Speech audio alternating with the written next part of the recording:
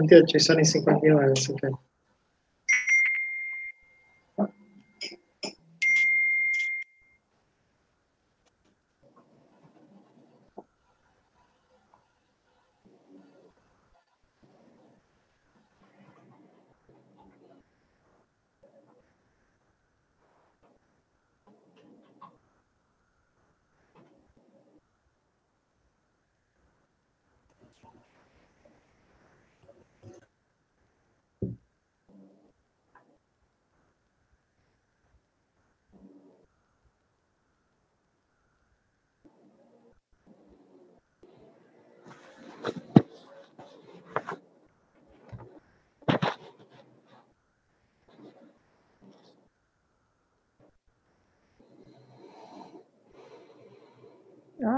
Llegamos. Llegamos. ¿Te parece, Emiliano? ¿Empezamos? Son las 5. Sí, sí, Ana, manejalo vos, manejalo ustedes. Ya, eh, yo a medida que vayan entrando, igualmente, ahora que eh, mencionan, digamos, que estén todos con los micrófonos apagados de lo posible, si hacen alguna pregunta por el chat y arrancamos cuando quieran. Eh, ¿Te parece que empiezo yo con la presentación? Vos no querés decir nada, ¿no es cierto? No, no, arranquen ustedes. Eh, como, la otra vez, eh, ya saben de, la vez anterior, digamos, que cualquier consulta van, avisando y después intercambiarán ustedes. Bueno. Bueno, buenas tardes a todos tenemos eh, que compartir nuestras experiencias, eh, esa era la idea de nuestras mediciones con este nuevo protocolo, que en realidad no está nuevo porque apareció en, abril del 2015. Eh, la superintendencia saca en el boletín oficial esta resolución 900, que se llama Protocolo para la medición del valor de puesta a tierra y la verificación de la continuidad de las masas en el ambiente laboral. Ese fue el, el título completo de esta resolución y en realidad eh, el objetivo de la resolución es verificar el cumplimiento de las condiciones de seguridad de las instalaciones eléctricas frente a los riesgos de los contactos indirectos a los que quedan sometidos los trabajadores. Este protocolo de, medición eh, tuvo como primordial objetivo es el verificar las condiciones de seguridad y como segundo objetivo que todos podamos informar eh, de manera uniforme nuestras mediciones para que los protocolos se puedan comparar y que tengan todos eh, aproximadamente el mismo formato. Ese fue el segundo objetivo de, de esta resolución 900 del 2015. Nosotros venimos eh, eh, trabajando con esta resolución hace muchos años, así que la idea era compartir con ustedes eh, nuestras experiencias en las mediciones y cómo fuimos cambiando nuestras formas de medir y qué es lo que fuimos priorizando en cada uno de los casos. Para poder completar este protocolo, Vamos a hacer una introducción para que podamos entender el significado de cada una de las columnas. Eh, entonces la idea es que eh, yo voy a empezar con algunas explicaciones previas para el protocolo y Gonzalo va a, seguir con las mediciones propiamente dichas de, todo lo que nosotros fuimos aprendiendo eh, a lo largo de estos años y cómo fuimos cambiando en realidad nuestra forma de medir, especialmente. Así que voy a primero eh, compartirles eh, en la primera presentación que nos cuenta un poco eh, acerca de los, de los esquemas de conexión a tierra.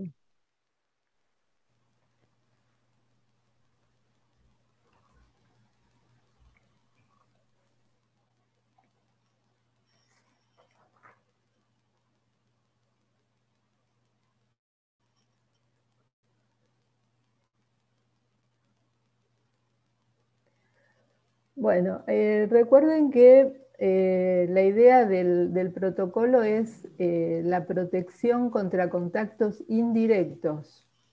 Pero bueno, vamos a hacer una referencia también al significado del contacto directo para que podamos hacer una diferencia entre lo que es un contacto directo y un contacto indirecto, que es a lo que apunta las mediciones de esta resolución. Acá vemos un, un gráfico muy simple de un contacto directo cuando una persona entra en contacto con, una, con un punto de la instalación sometido directamente a tensión. Y ahí se ve cómo el recorrido de la corriente por el cuerpo humano se cierra por eh, uno de los conductores activos.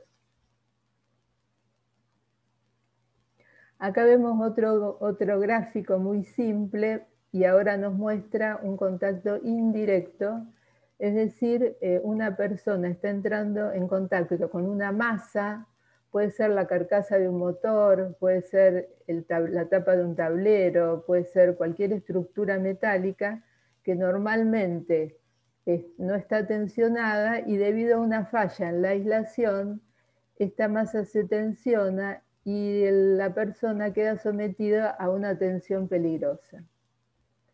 Esa tensión es la que nosotros vamos a llamar eh, tensión de contacto y es la que la, la, EA, en realidad el decreto 351, fija que la tensión de contacto de 24 voltios es una tensión de seguridad y es la que no produciría ningún efecto fisiológico eh, grave. O sea que más allá de 24 voltios hay que limitarla o cortarla para que no se produzca eh, un choque eléctrico. Eh, nosotros lo que tenemos que poder diferenciar cuando empezamos a medir en un establecimiento es eh, qué esquema de conexión a tierra tiene. Ese esquema de conexión va directamente relacionado con los dispositivos de protección que puede tener ese esquema. Eh, bueno, en este caso hoy no vamos a ver los efectos de la corriente en el cuerpo humano, simplemente vamos a apuntar directamente a la resolución 900. Para poder entender un poco el concepto del esquema de conexión a tierra, eh, nos estamos preguntando cómo está vinculado la, alimentación del establecimiento con las masas. En general sabemos que el transformador de la EPE o de la empresa distribuidora tiene el neutro puesto a tierra, en general sí, que ese es el que llamamos tierra de servicio. Y después tenemos en general que las masas de la, de la instalación consumidora en general están puestas a tierra. El esquema de conexión a tierra nos dice si estas masas están o no vinculadas entre sí.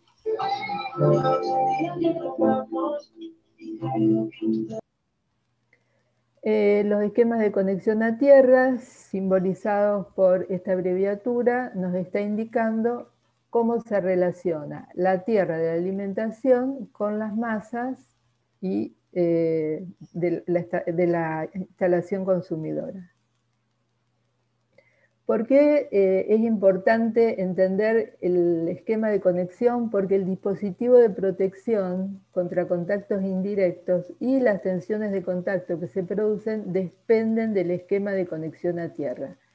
Es decir, la reglamentación de la EA eh, obliga que para determinados esquemas solo podemos usar un tipo de protección distinto del otro esquema. Entonces lo primero que tenemos que conocer es qué esquema de conexión a tierra tiene ese establecimiento.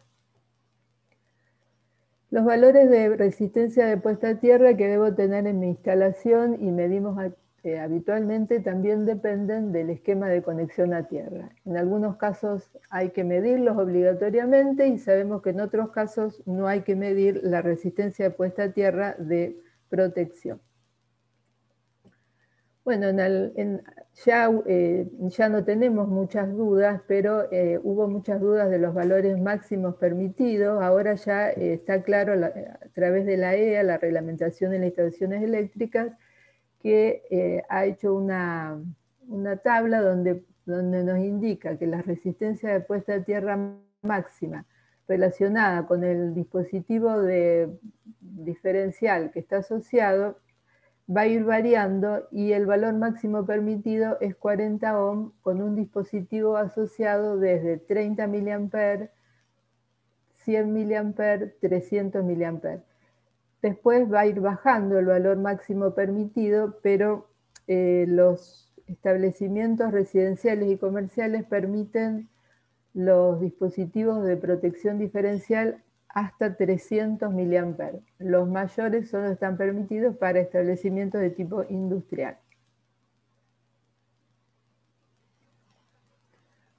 Bueno, acá vemos un primer esquema que después vamos a ver un esquema circuital de un eh, esquema de conexión a tierra de tipo TT, que es el tipo más frecuente con el que nos encontramos, donde vamos a ver que el significado de las letras, la primera T significa que el neutro del transformador está puesto a tierra, es la tierra de servicio, y la segunda T significa que las masas del consumidor están puestos a una tierra de protección separada de la puesta a tierra de servicio. Ese era el significado del esquema TT.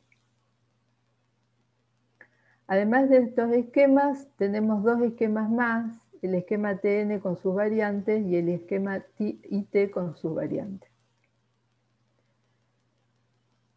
El esquema, el esquema TT, acá tenemos otro, otra, otro esquemita, vamos a ver un esquema más circuital.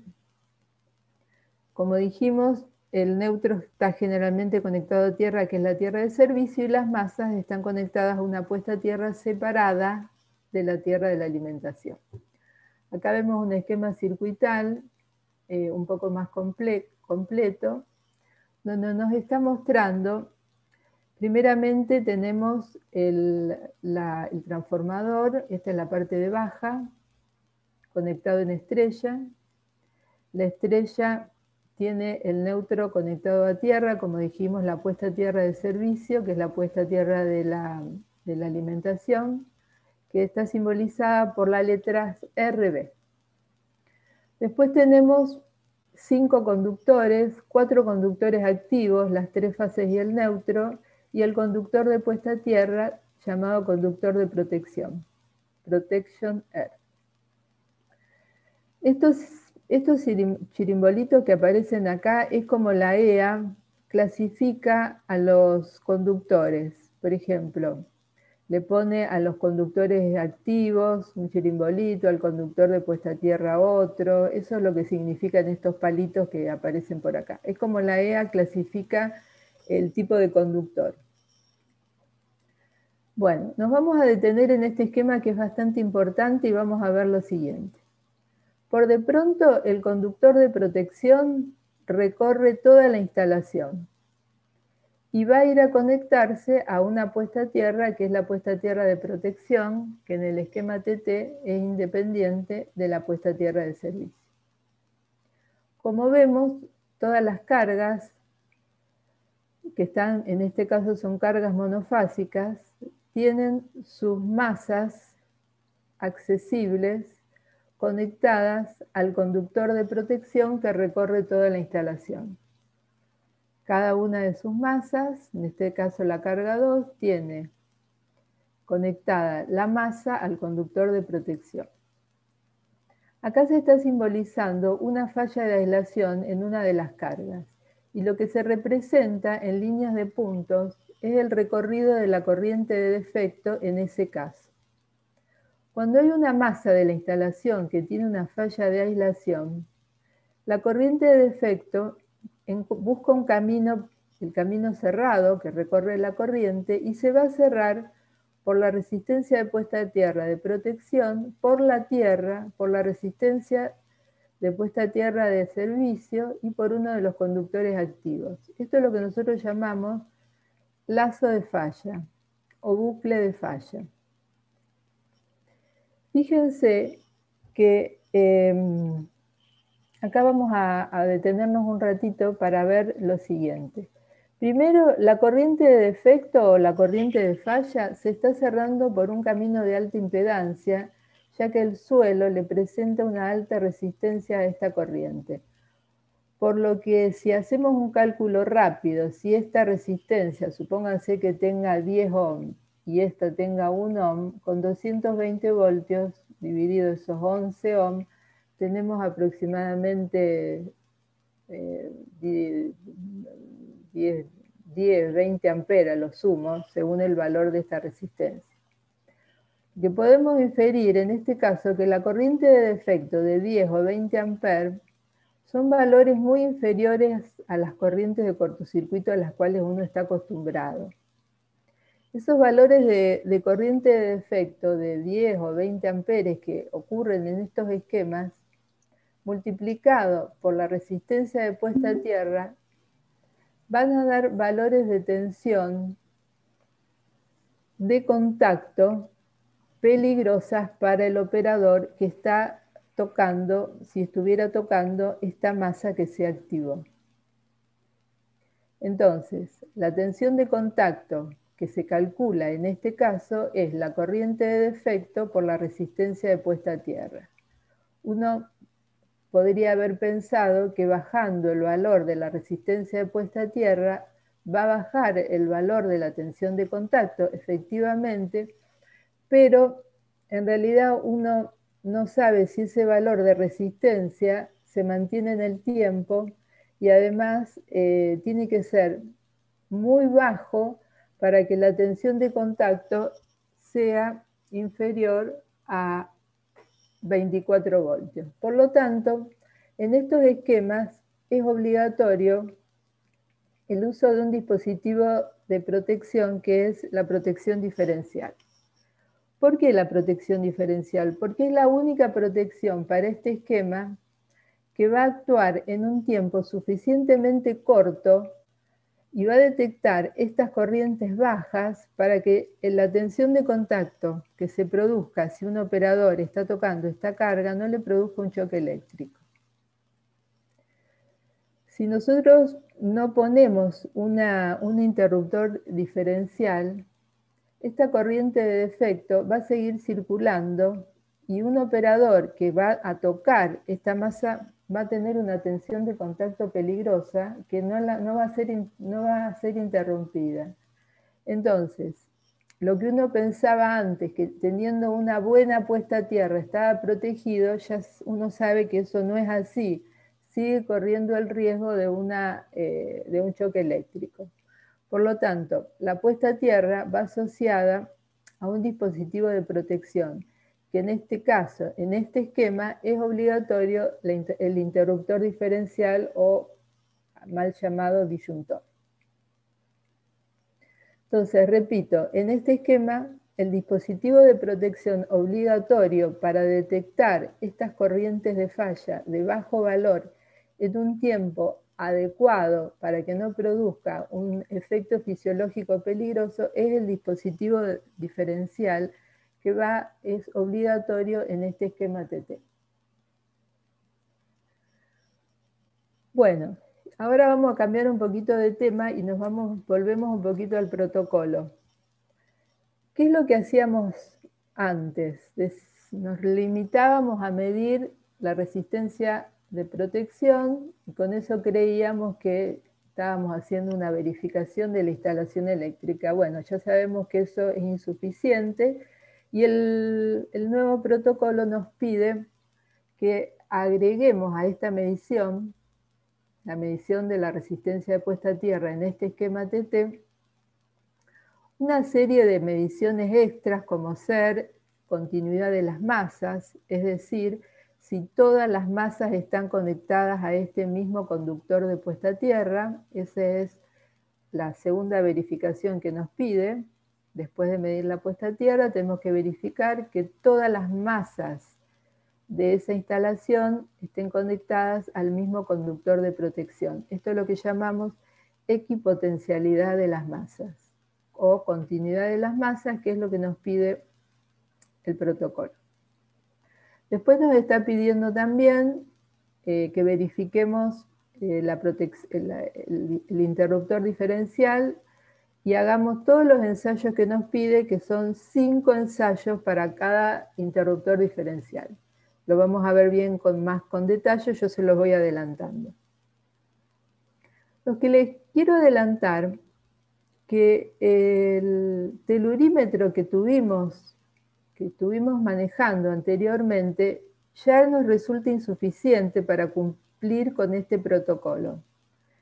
Primero, porque el protocolo nos pide que midamos la continuidad del conductor de protección con 200 miliamperes como mínimo, con una tensión de circuito abierto entre 4 y 24 voltios, que no lo, en general el telurímetro que usábamos anteriormente no inyectaba esa corriente para verificar. Nosotros teníamos forma de verificar eh, haciendo unas mediciones de la continuidad de las masas, pero no sabíamos que teníamos que inyectar por lo menos 200 mA.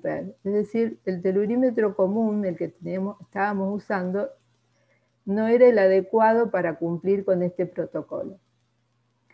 Segundo, los telurímetros que teníamos no tenían la función probador de diferenciales. Entonces, la gente tuvo que adquirir otro equipamiento para poder hacer la comprobación de los diferenciales, si no el protocolo queda incompleto. Es decir, o reemplaza su telurímetro antiguo por un analizador de redes que tiene todas las funciones que se adecúan, o complementa su telurímetro con uno que le permita medir continuidad de las masas y comprobar el funcionamiento de los interruptores diferenciales.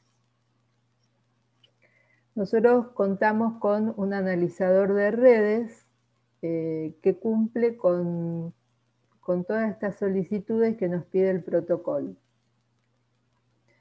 El analizador de redes eh, tiene como función eh, una, función que, está admitida por el protocolo, que es la medición del lazo de falla. Es decir, nos permite medir la impedancia de este lazo de falla que incluye en su recorrido la resistencia de puesta a tierra. Es decir, el analizador de redes cuenta con un accesorio que es eh, como si fuera un enchufe, que colocado en cualquier toma corriente de la instalación como medición previa, toma, este, este toma corriente toma la tensión de la instalación y el punto, la puesta a tierra. Con esa primera medición, tomando la tensión, inyecta una corriente en ese circuito y hace una primera medición que es la que nosotros llamamos lazo de falla.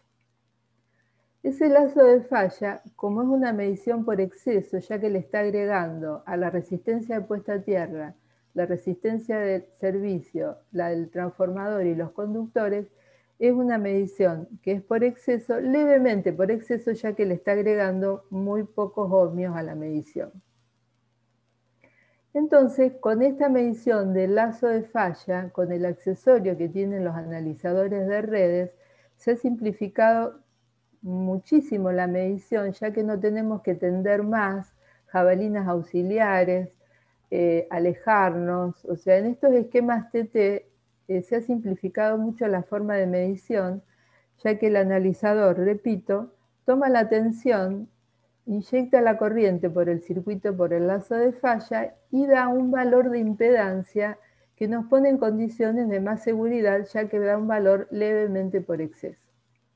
Si ese valor cumple con este valor nuevo que es de 40 ohm, uno sabe que la resistencia puesta a tierra de protección va a ser un valor levemente menor.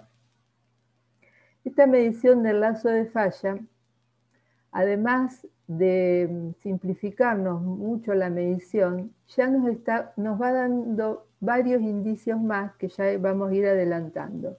Es decir, también nos va a decir o nos va a dar indicios qué esquema de conexión a tierra tiene el establecimiento donde estamos midiendo.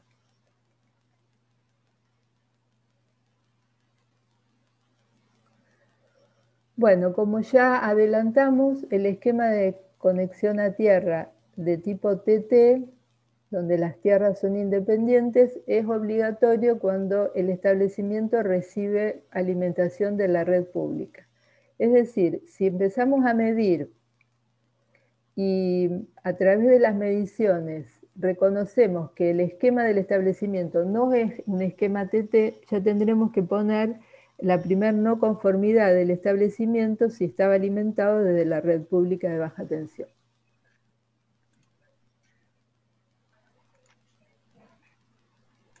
Bueno, como dijimos, las corrientes de defecto tienen un valor inferior a las de cortocircuito, pero suficientes para producir tensiones de contacto peligrosas. Es decir, una persona que queda sometida a una tensión de 200 voltios es una tensión peligrosa que tiene que ser inmediatamente el dispositivo cortar la alimentación.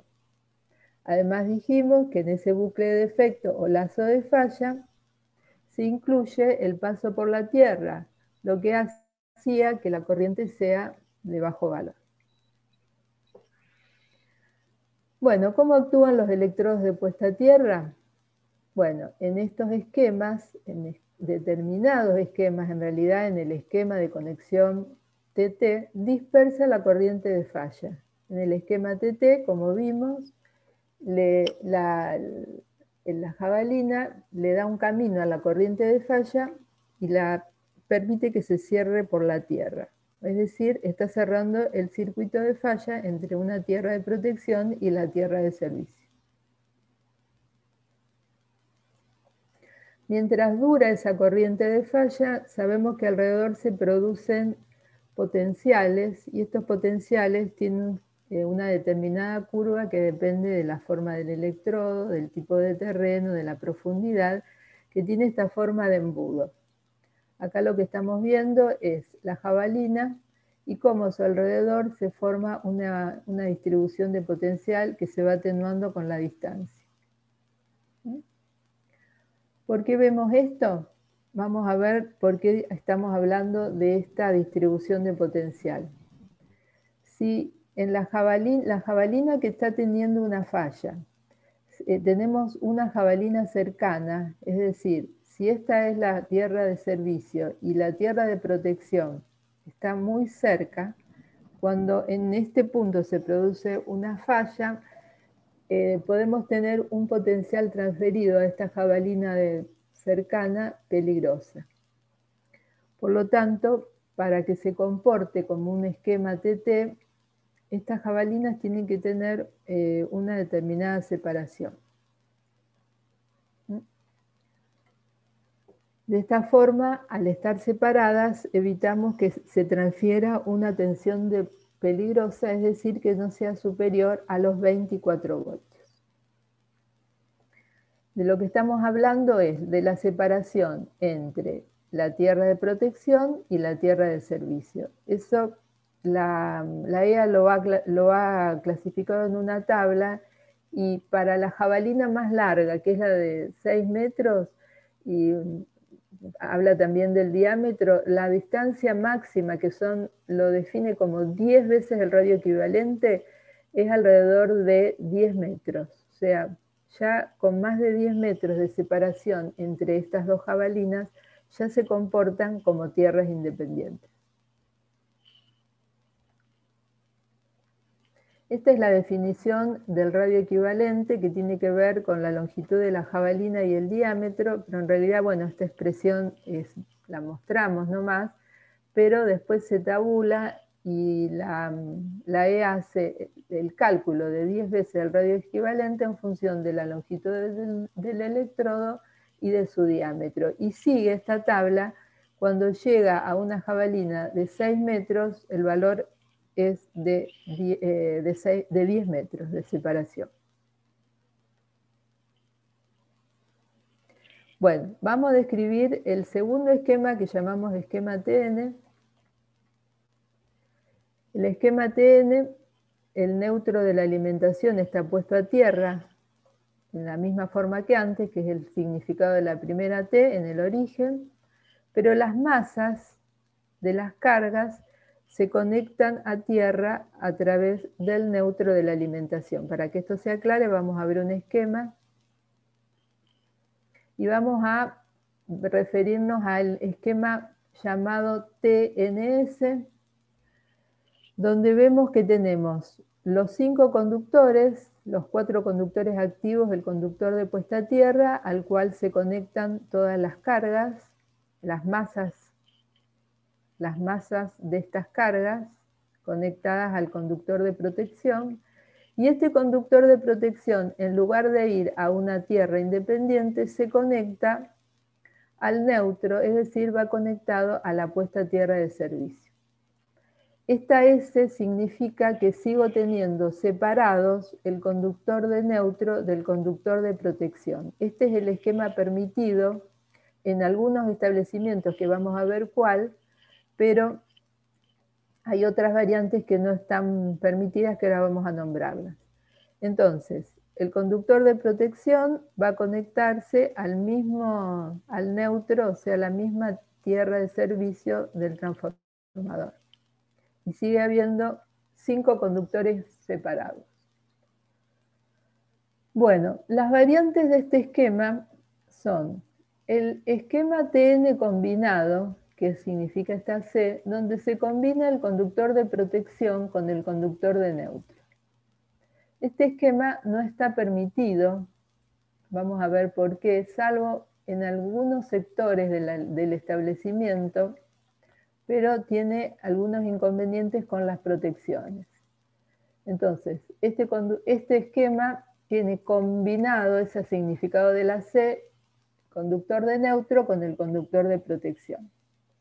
Y una combinación de los dos esquemas es el combinado y separado, quiere decir que hasta un lugar de la instalación van los cuatro conductores y a partir de, la, en realidad a partir del tablero principal de, de entrada del establecimiento se deben separar y a partir de ese punto no se pueden volver a juntar. Entonces, tiene eh, por ejemplo, desde la subestación hasta el tablero principal va los cuatro conductores, o sea, se lleva el, conductor de puesta a tierra, se llega al tablero principal, se conecta a la barra, a una barra, se, conecta a la barra de puesta a tierra, se conectan ambos puntos, el de neutro y el de, el de puesta a tierra, y de ahí en más se separan los cinco conductores y el conductor de protección va a ir recorriendo toda la instalación separado del neutro. Ese es el esquema que nos encontramos en los establecimientos industriales. Este esquema está permitido y este esquema está permitido y este esquema no. El, problema que tiene el esquema combinado es que cuando hay una falla en la aislación en una de las cargas, este es el simbolito del interruptor diferencial, la corriente de defecto tiene el mismo camino que la corriente de la carga. Por lo tanto, el diferencial no puede diferenciar la corriente de carga de la corriente de defecto, por lo tanto no actúa. Este esquema entonces es incompatible con el empleo de la protección diferencial, por eso no está permitido.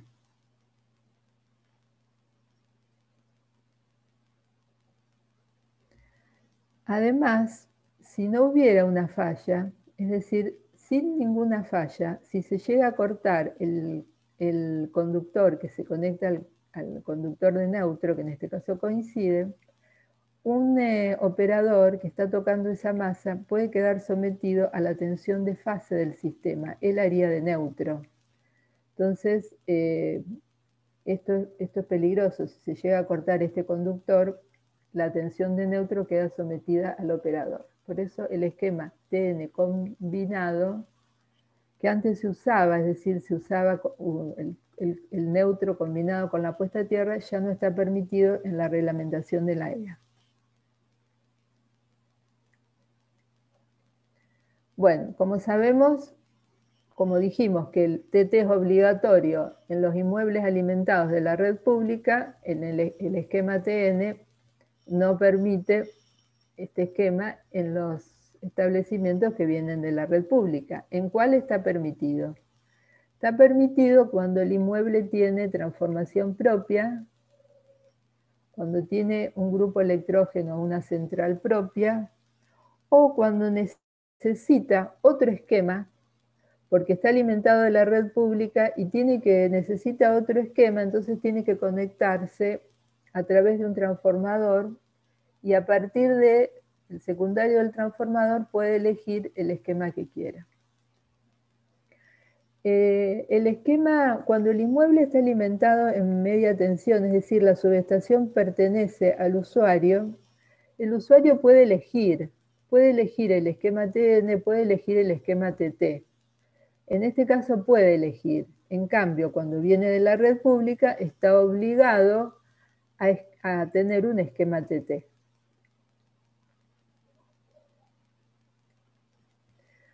Bueno, vamos a ver qué, qué, diferencia importante encontramos en el esquema TNS. Vamos a analizar este que es el esquema que está permitido. Y lo que sucede cuando una de las cargas, una de la, hay una falla en la aislación en una de las cargas, o sea, la masa tiene una falla de aislación, empieza a circular esa corriente de defecto, el camino de la corriente de defecto marcado con líneas de punto, que llamamos bucle de falla o lazo de falla o bucle de defecto, sigue un camino totalmente distinto del camino que tenía cuando el esquema era TT. Es decir, no se cierra por la tierra, sino por conductores metálicos que son de muy bajo valor. Esto hace que la corriente de defecto en estos esquemas pueda tener valores de miles de amperes, 1000, 2000, 3000 amperes hemos medido en estos esquemas, ya que la impedancia del lazo de falla es de muy bajo valor. Entonces, si esta masa está puesta a tierra, que no estaría mal porque está fijando el potencial de la masa, o esta masa que vemos que es la puesta a tierra de servicio, existe en, este, estos esquemas, la corriente de defecto no, no, va a pasar por esas puestas a tierra. O sea que en estos esquemas no, no, no es necesario medir la resistencia de puesta a tierra ni de las masas, y esta en algunos casos se pide, pero para otros fines. ¿Por qué no se pide? Porque la corriente de defecto no se va por la tierra, no es una corriente de, falla a tierra, porque no va por la tierra, va por los conductores metálicos. Entonces, básicamente este esquema tiene corrientes de cortocircuito prácticamente, muchísimo más elevadas, como dijimos, que lo que uno esperó en los esquemas TT. Entonces, ¿qué corriente de falla es esperable? una corriente de falla muy elevada. ¿Influye en esa corriente el valor de RB? No, porque la corriente de defecto no se cierra por las puestas a tierra, que en estos esquemas no habría que medir. Por eso, lo primero que uno tiene que determinar cuando ingresa a un establecimiento es qué esquema de conexión a tierra tiene ya que si el esquema de conexión es TN, no tendría que medir las resistencias de puesta a tierra de protección si existieran, sino que tendría que medir la continuidad del conductor de protección y verificar si los dispositivos de protección son los adecuados. Como dijimos, cada esquema está relacionado con un dispositivo de protección específico para ese esquema.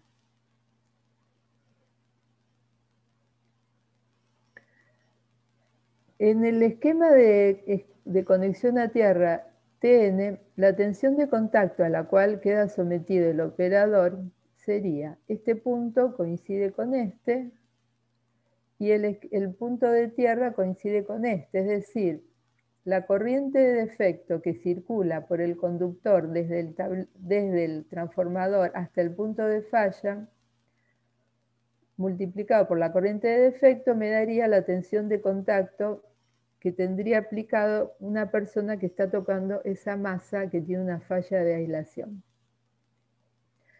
En general, la tensión de contacto que recibe la persona en estos esquemas es de valor inferior a la tensión de contacto que aparece en el esquema TT, pero sin embargo sigue siendo peligrosa porque aún la corriente de defecto es elevada, el valor de la resistencia del tramo es de muy bajo valor ya que son conductores metálicos y tienen muy baja impedancia.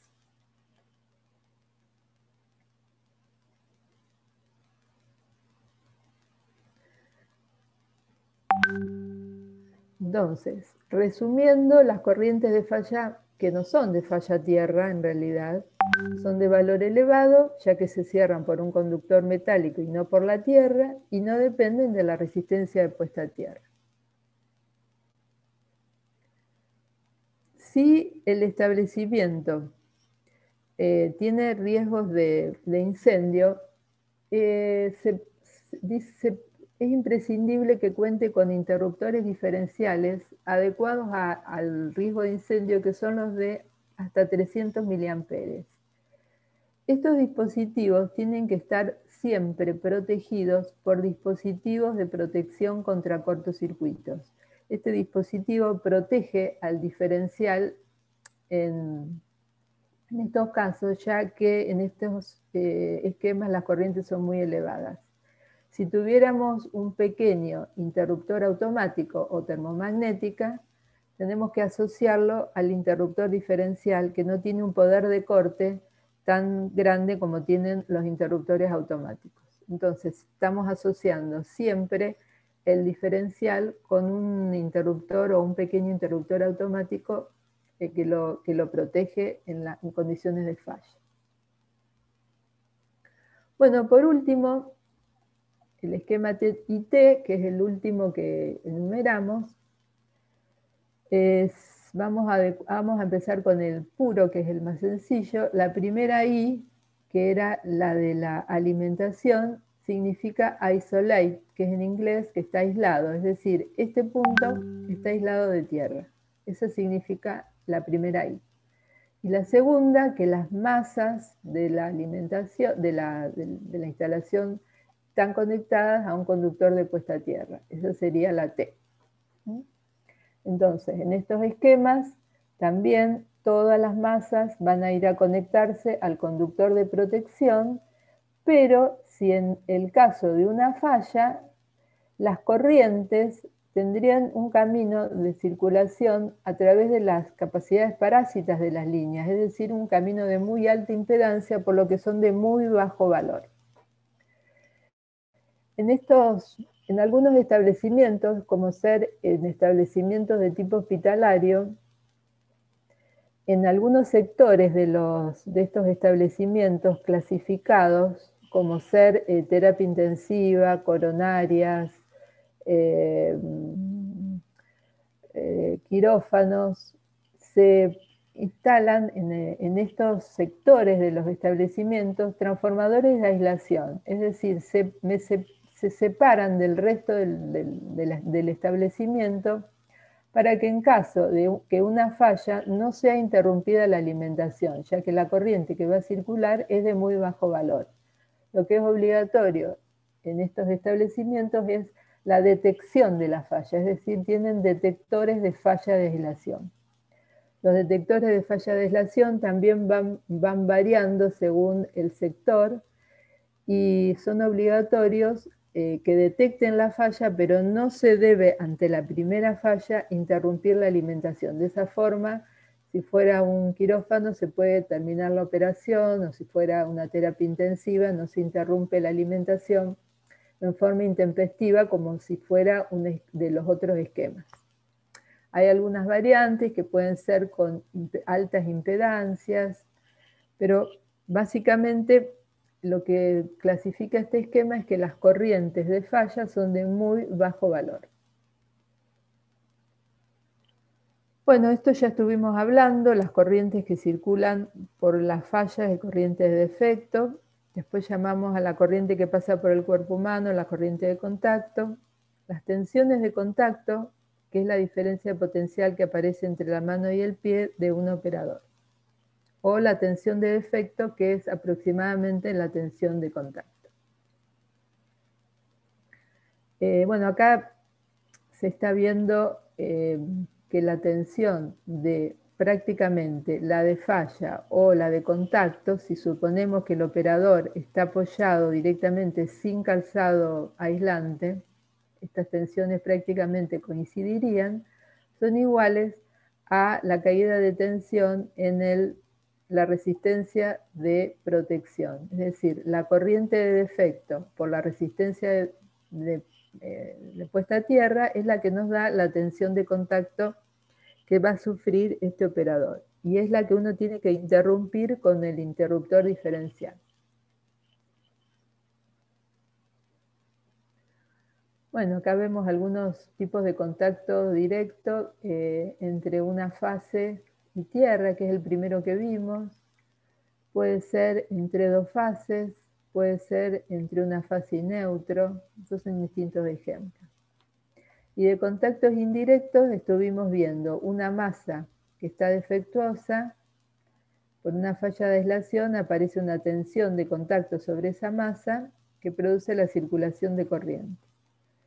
O puede ser que una masa esté sometida a un defecto y esta masa no está equipotencializada, por lo tanto, va a haber una diferencia de potencial entre las dos masas, lo que produce la circulación de corriente por esta persona y posiblemente un choque eléctrico peligroso.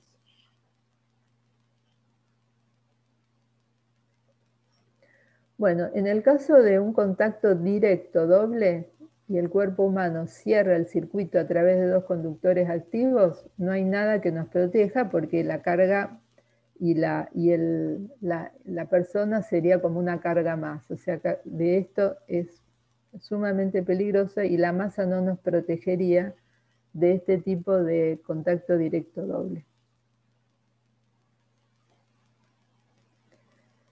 Eh, vimos que tenemos contactos directos donde hay eh, tres medidas completas, dos medidas parciales y una medida complementaria para protegernos.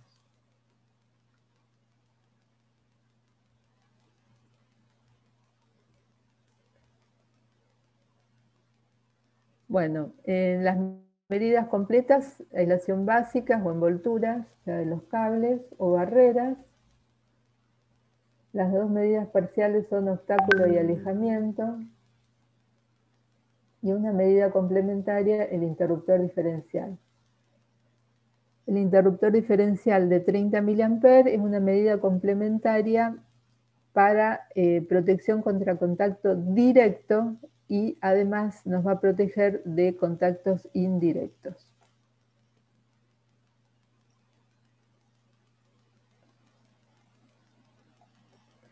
Bueno, esta, mm, esta tablita nos da eh, los valores máximos de apertura y de no apertura del interruptor diferencial y eh, los, vamos a verla un poquito qué significa. Los de tipo general, es decir, los que nosotros normalmente encontramos, que vienen hasta 125 amperes de corriente nominal, vienen de corriente umbral de todos los valores, es decir, desde 10 mA, 30 mA, 100 mA, 300 mA, 500 y sigue con las distintas corrientes. Esto es lo que estamos representando como corriente umbral.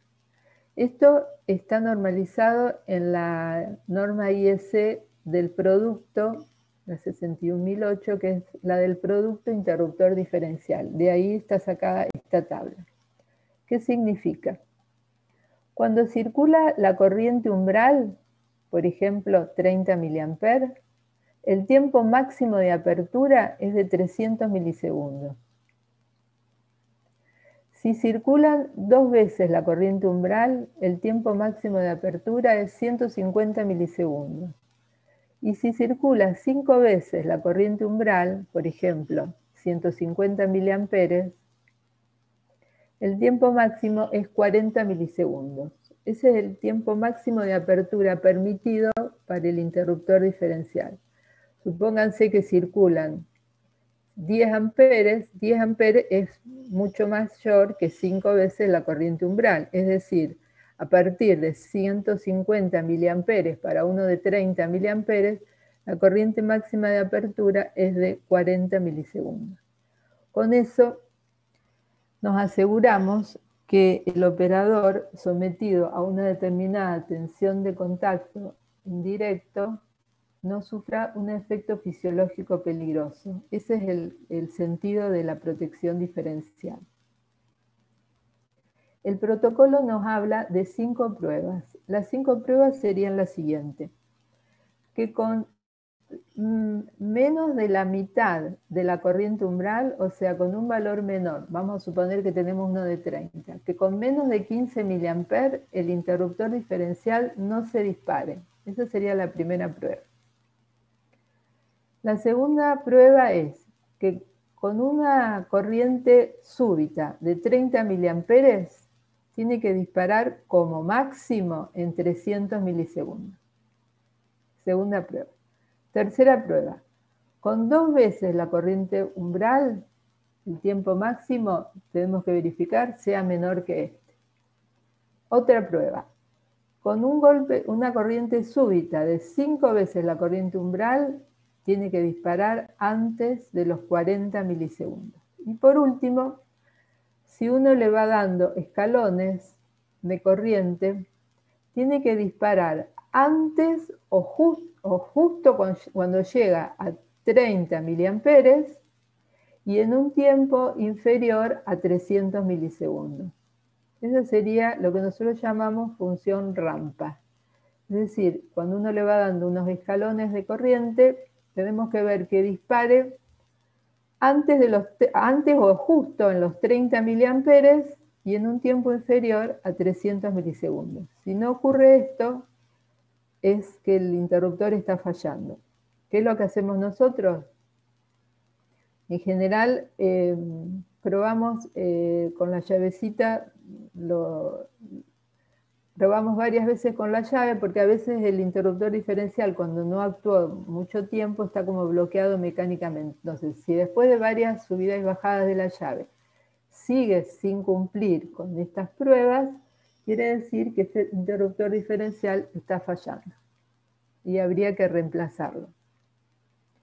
Otra posibilidad que nos ha pasado que aún estando eh, aparentemente fallaba, en realidad el tipo de cargas, el interruptor diferencial no era el adecuado para la carga que tenía conectada. Es decir, hay tipos de carga que hacen que el interruptor no funcione en forma adecuada. Por eso el interruptor diferencial viene de distintos modelos. Por ejemplo, los superinmunizados podría ser uno de ellos eh, ¿Qué es lo que nos ha pasado?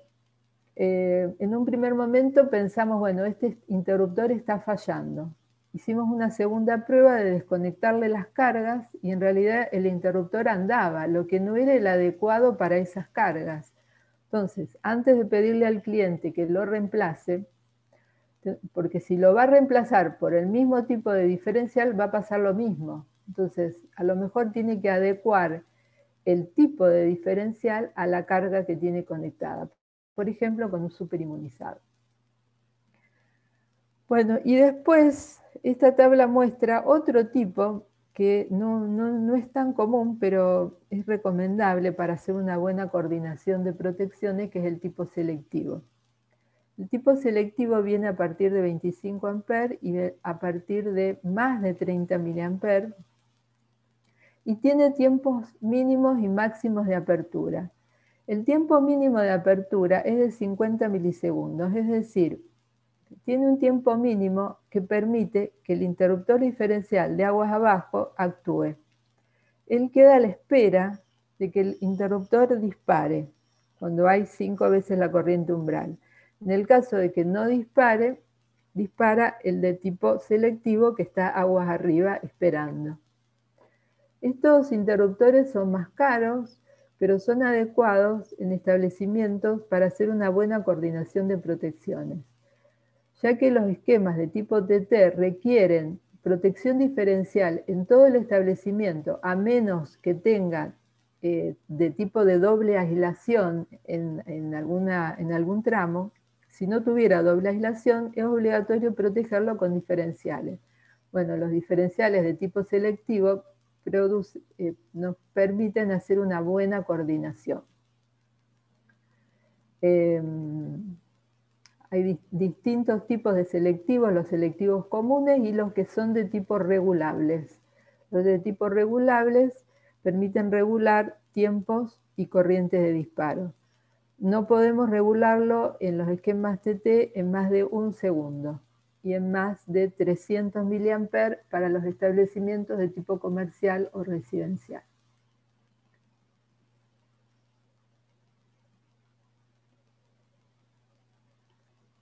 Bueno,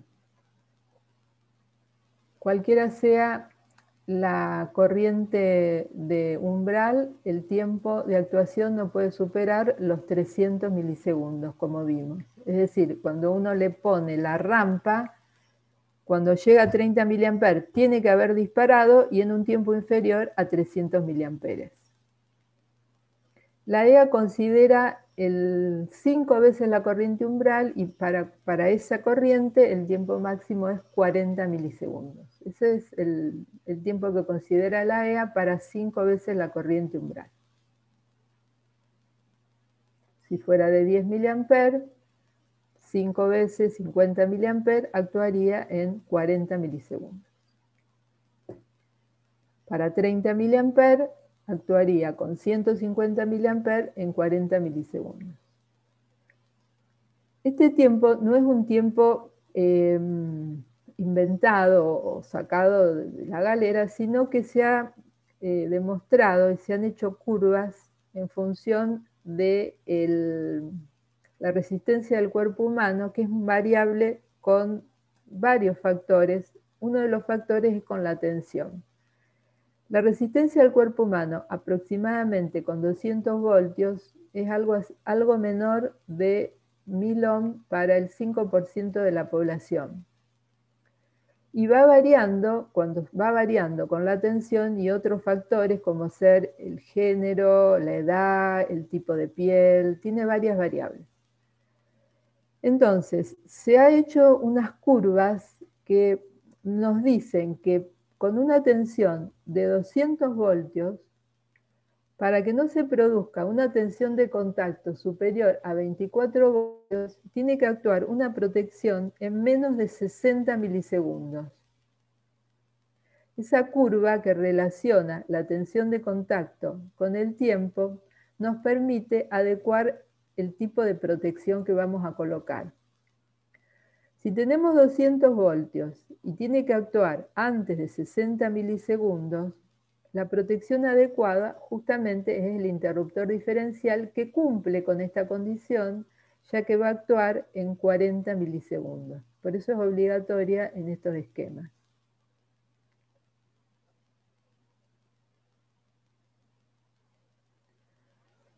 El empleo del diferencial eh, como medida complementaria es obligatoria en todas las plantas industriales, en todos los circuitos. El empleo es obligatoria en todas las instalaciones, pero en los circuitos terminales donde hay toma corrientes e iluminación y el riesgo de contacto directo. Con la espiga de una ficha, la introducción de un elemento metálico, eso es lo que llamamos contacto directo. ¿Es obligatorio la protección diferencial en el tablero principal? Depende. ¿Es obligatorio el empleo de la protección diferencial de 30 mA o mayor? No es obligatorio, depende de la clase de aislación que se utilice en la parte de aislación y depende del esquema.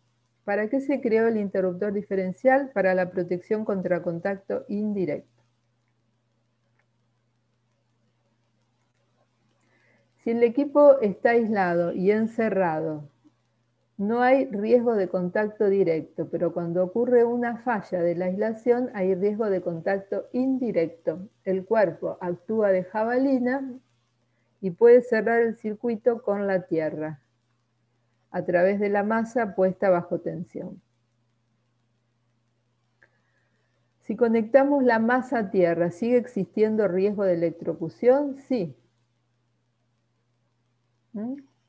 La tensión de contacto que recibe la persona, que dijimos que es la corriente de efecto por la resistencia puesta a tierra, puede ser peligrosa. ¿Mm? Bueno, entonces tenemos que verificar que la protección contra contacto indirecto para cumplir con la resolución sea corte automático de la alimentación para instalación clase 1 o instalación inmaterial clase 2 para una instalación de doble aislación.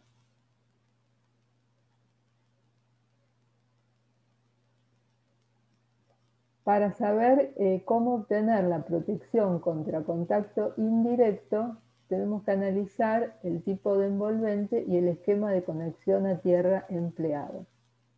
Si es aislante y cumple con todas las condiciones de doble aislación, esto es suficiente y va a brindar protección contra contactos directos e indirectos. Si es metálica, para obtener la protección contra contacto indirecto se necesitan medidas especiales, es decir, en el esquema TT la protección diferencial y en el esquema TN pueden ser la protección diferencial o dispositivos contra cortocircuito, es decir, pueden ser eh, termomagnéticas, interruptores automáticos o fusibles.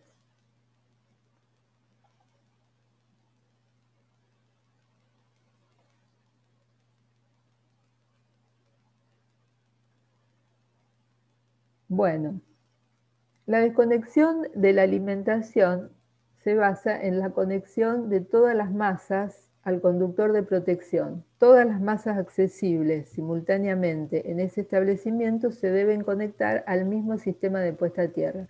Esto es lo que tenemos que verificar cuando empezamos a medir en un establecimiento, que todas las masas accesibles se conecten al mismo sistema de puesta a tierra.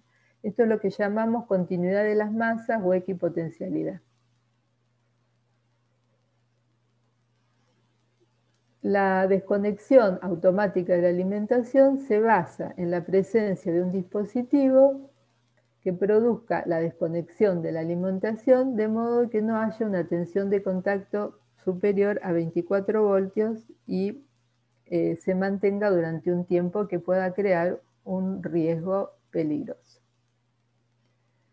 Bueno, eh, vamos a, ver, hacer una, un alto acá nos quedan, eh, bueno, terminamos esta presentación. Gonzalo, ¿vos me estás escuchando? Sí, sí, acá estoy. Eh, me quedan algunas... Presentaciones. sí, me quedan algunas poquitas. Bueno, le damos una, finalización a esto. Vale. Bueno, entonces, en el esquema TT, obligatoriamente la reglamentación nos pide protección diferencial protegido además la instalación contra cortocircuitos y sobrecargas con termomagnéticas o interruptores automáticos. Eso es la, protección obligatoria en el esquema TT. En el esquema TN, el dispositivo de protección puede ser el interruptor diferencial protegido adecuadamente, pero también nos permite interruptores automáticos o fusibles, ya que la corriente de defecto en estos, en estos casos es tan elevada que permite que el interruptor automático, la termomagnética, actúe en el tiempo mínimo de disparo como si fuera un cortocircuito. ¿Mm? Bueno, esto ya lo vimos.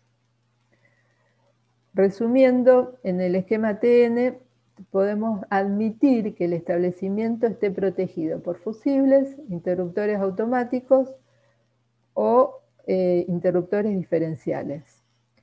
Cuando el establecimiento tiene interruptor diferencial, comprobar el funcionamiento, las cinco pruebas al interruptor diferencial, estaríamos cumpliendo con el protocolo.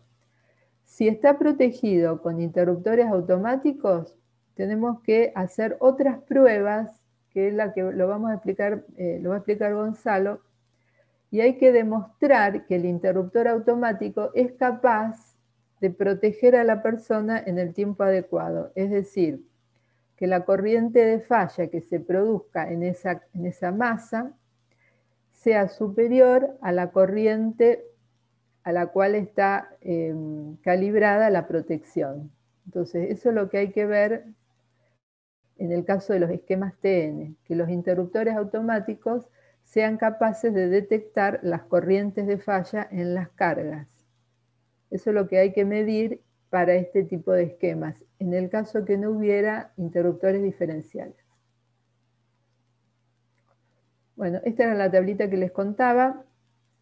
Solamente nos remitimos a esta columna. Las resistencias máximas de puesta a tierra hasta asociadas a interruptores diferenciales de 300 mA es de 40 ohm para establecimientos residenciales o comerciales y a partir de ahí el valor de resistencia va bajando, de modo que el producto de la corriente del diferencial por la resistencia máxima de puesta a tierra produzca una tensión de contacto indirecto menor de 24 voltios.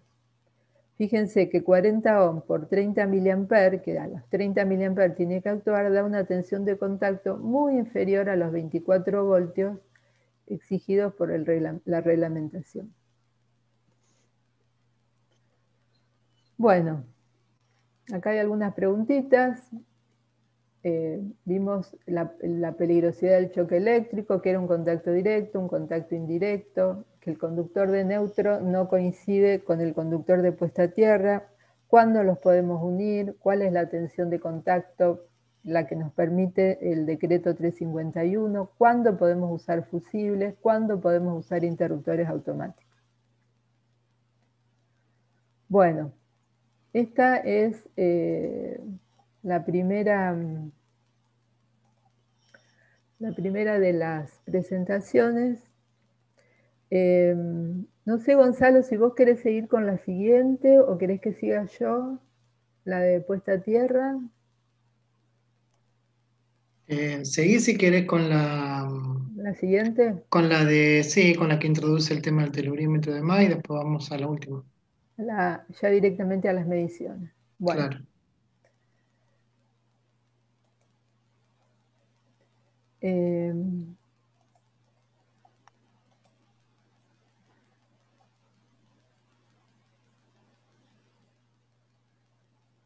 Ahí hay un par de preguntitas. Eh, esta dice, eh, ¿vos, las podés leer? Sí, ¿cuál es el valor máximo de una jabalina de puesta a tierra de un pararrayo? Eh, medido con un instrumento común, el valor máximo del pararrayo es 10 ohm. Eh, eso medido con un telurímetro común de los, de los que tenemos cualquiera de nosotros. Sea, dice que sea menor que 10 ohm. Eso es lo que dice la, la EA. No sé si hay alguna otra pregunta. Hay una acá que no hice tiempo para contestarla. En un proceso industrial que no admite cortes, ¿cómo protejo contra contactos indirectos? como un, como un hospital, por ejemplo. Claro, un, establecimiento que no admite cortes tiene que ser, eh, tiene que elegir un esquema IT. Claro. tiene que tener una, un obligatoriamente detectores de falla de aislación, pero que no, ante la primera falla no desconecten la alimentación. Ese es el tipo IT que nombramos.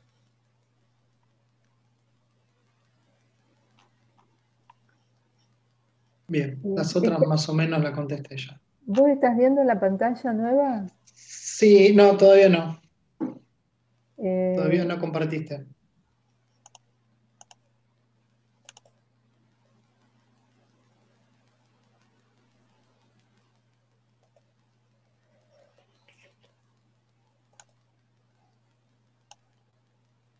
¿Qué se mide en el caso de IT?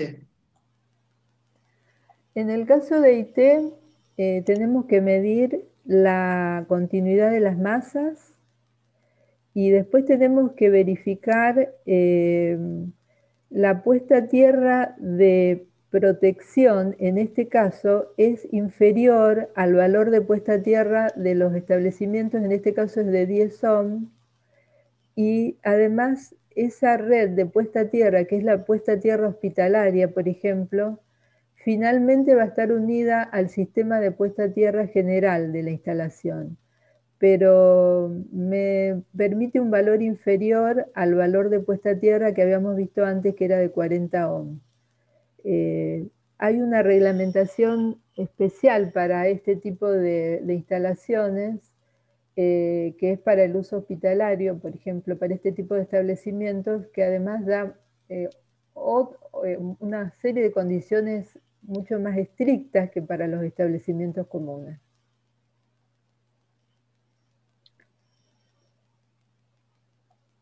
Lucas, si tenemos varias jabalinas interconectadas, ¿se miden todas? Bueno, eso después lo vamos a ver. Bueno, eh, yo quiero compartir pantalla eh, con este, pero no, no lo ves, ¿no? ¿Le diste, ¿Le diste al, archivo? Porque este es medición y uso del telurímetro, este es el que, vas, a, el que vas a ver yo, vos. Sí. Eh, a ver.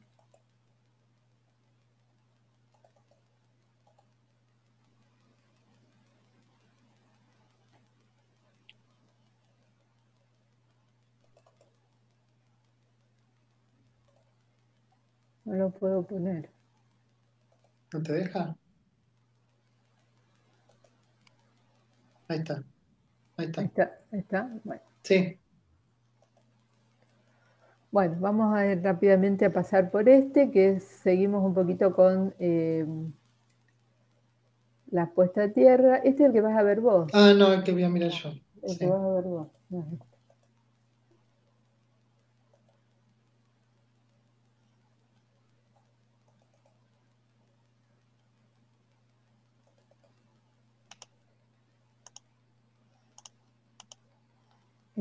¿Lo, eh, ¿Lo estás viendo? No, está en verde. Tenés que dejar de compartir y volver a elegirlo. ¿Ahora? ¿Tampoco? Ahí va, ahí va, a ver, ahí está. Sigue el mismo. Sigue el mismo. Bueno, volvemos.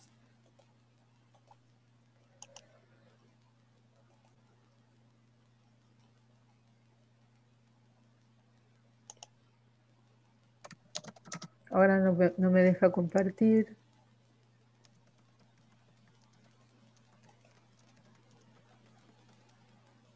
Este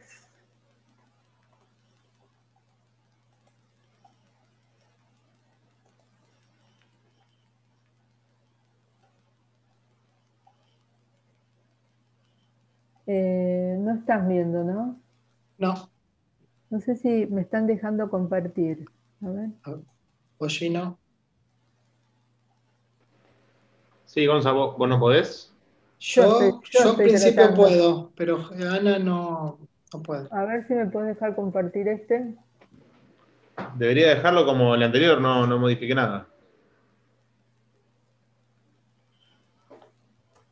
Si no, compartí el escritorio.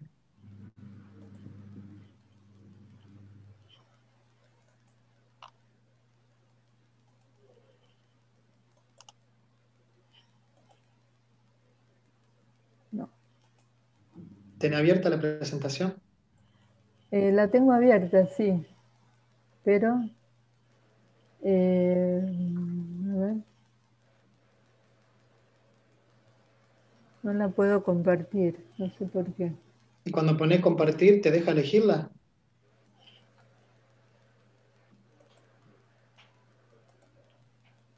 Debería aparecer como la, la pestaña o la ventana, digamos, adicional de pantalla. Ahí está. Ahí va. Ahí va. Bien.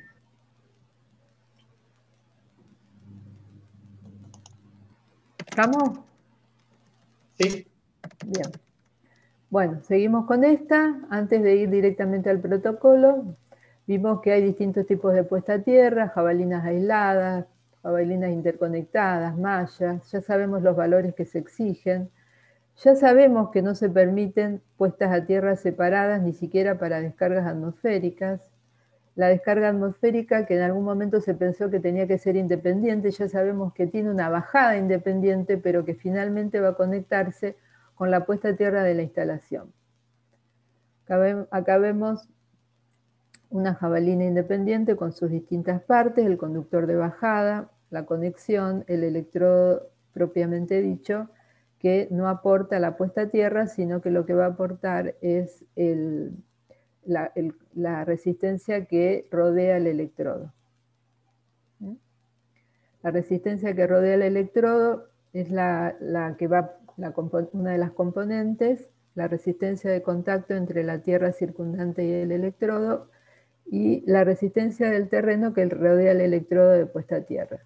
Esas son eh, las componentes de las resistencias que estamos midiendo. El electrodo prácticamente no aporta, eh, la de contacto aporta y la resistencia que rodea aporta hasta una determinada distancia dependiendo del tipo de puesta a tierra que tengamos. Bueno, la puesta a tierra, como vimos, deriva la corriente de falla que se puede originar por una falla de aislación, por una descarga, por una descarga atmosférica. Y además colabora con el dispositivo de protección cuando eh, se origina un defecto. Y además vimos que limita la diferencia de potencial que se puede presentar entre la masa y la Tierra. Esta es la fórmula empírica del valor de la resistencia para una jabalina, que nosotros en realidad no la medimos, pero em, tiene este valor teórico donde vemos de qué depende, depende de la longitud, del tipo de terreno, del diámetro de la jabalina. Em, la resistividad de los terrenos a veces es necesaria medirla antes de construir una malla y sabemos que varía de un sitio a otro, depende del tipo de terreno, de la humedad, de su composición, por lo tanto, en, algunas mediciones de resistividad que nos han pedido antes de construir una malla, se, miden en distintos puntos del terreno y eh, a la profundidad a la cual se desea construir la malla.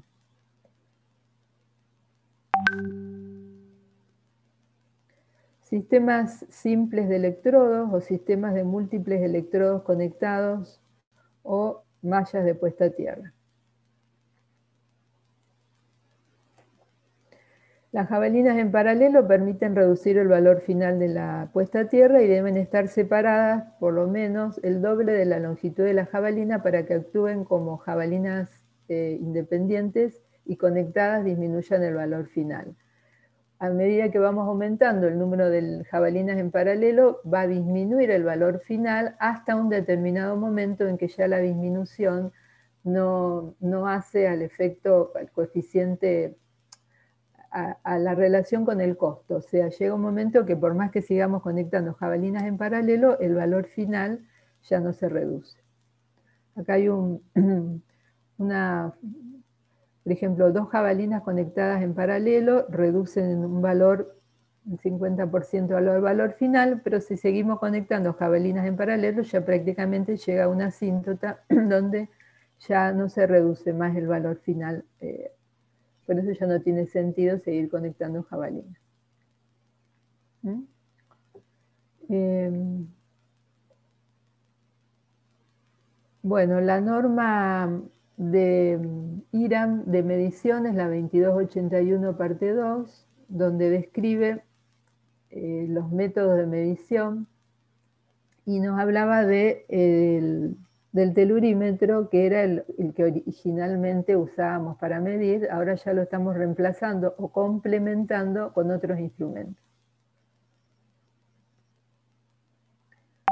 Bueno, nosotros cuando tenemos que medir, en este caso con jabalinas auxiliares, eh, tenemos que eh, clavar esas jabalinas auxiliares a una determinada distancia que la norma IRAM dice que tiene que estar eh, a 50 metros la jabalina auxiliar de corriente y a 25 metros la jabalina auxiliar de tensión.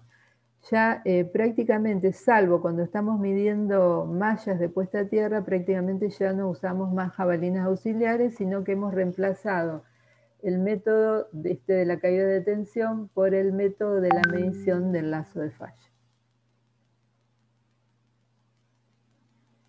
Si mm, la medición es de una, de una malla de puesta a tierra donde los valores son muy bajos, hay que alejarse en una forma proporcional a la longitud de la malla. Por ejemplo, una malla de esta longitud tendría que alejarme 200 metros para la sonda de tensión y otros 200 metros para la sonda de corriente. Es decir, cuando la malla, incluido el cerco, tiene eh, grandes proporciones, eh, la medición ya se torna bastante compleja ya que me tengo que alejar lo suficiente como para no entrar dentro de la zona que abarca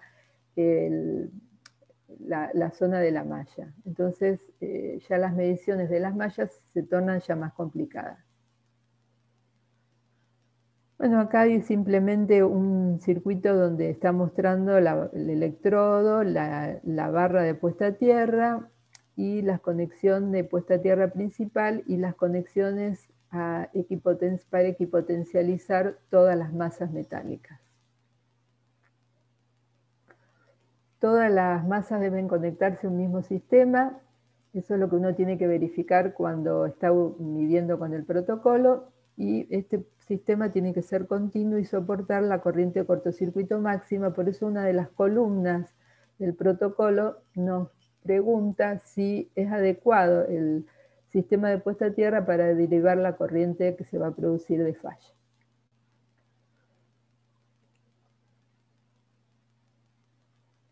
Bueno, según el decreto 351, eh, o está cubierta la instalación por una protección diferencial o si no estuviera cubierta, tenemos que eh, adecuar los medios para que la tensión de contacto no supere los 24 voltios.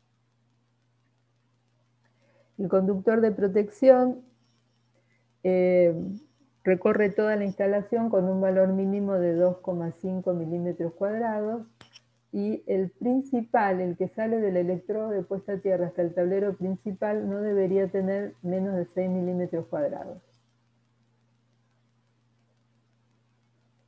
Todos los tomacorriente compuesta a tierra tenemos que verificarlo, que estén efectivamente conectados a la puesta a tierra de la instalación y sea la misma, sea esté todo equipotencializado.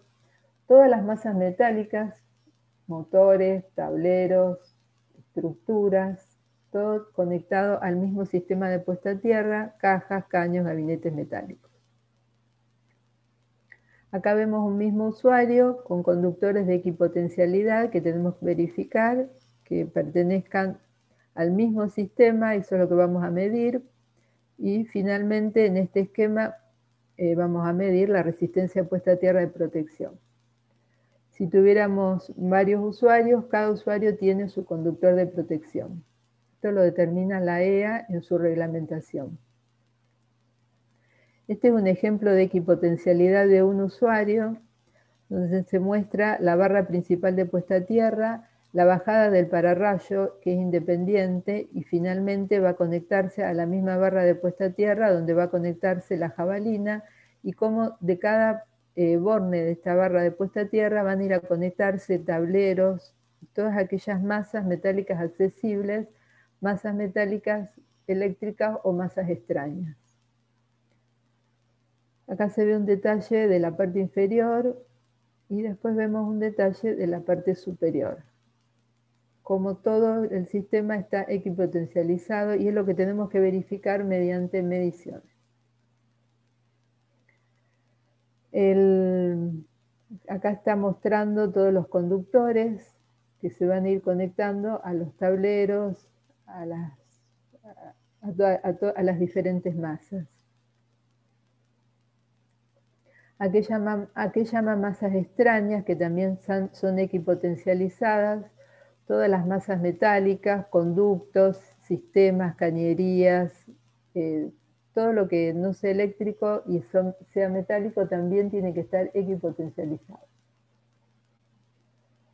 Bueno, ya terminando, nos dice que la conexión de puesta a tierra de la instalación no puede estar hecha en guirnalda, ya que si se llega a interrumpir en un punto de la instalación, el resto de la instalación queda desconectado.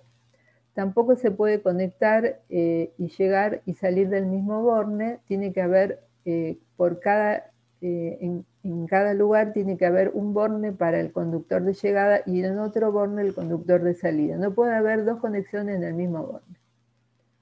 Acá sigue habiendo guirnalda, pero se ha separado los dos conductores, uno llega a un borne de una barra y sale del otro. Este tiene un conductor que pasa se llega ahí y de ahí se parte al toma corriente. Este es lo que no está permitido porque sale del mismo borne. Este tendría, estaría correcto y este también, donde no se está usando el mismo borne para el toma corriente que para esta caja. Acá se muestra una barra de puesta a tierra donde de cada borne sale un conductor. No se puede eh, de un mismo borne salir más de un conductor.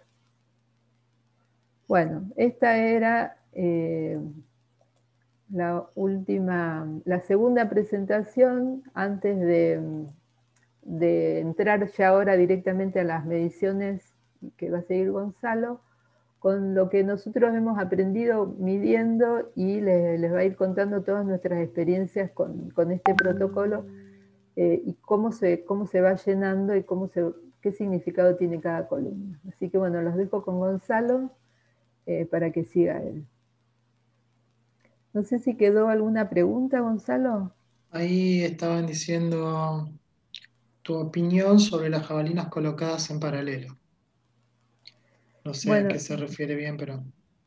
No es que yo tenga una opinión, sino que cuando el valor de una jabalina es insuficiente por el tipo de terreno y no llego al valor eh, máximo permitido y tengo que conectar más jabalinas en paralelo, eh, puedo seguir bajando el valor separadas adecuadamente, pero llega un momento que por más que siga agregando, eh, por ahí no, no, mejora el sistema de puesta a tierra porque a lo mejor el, tipo de terreno es, no es adecuado. Entonces, o tengo que mejorar el terreno de alguna forma o, buscarle la vuelta para llegar al valor máximo permitido.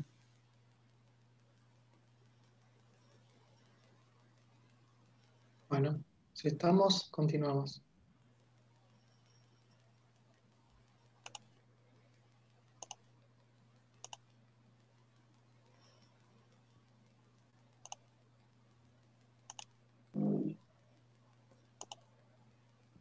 Ahí se ve.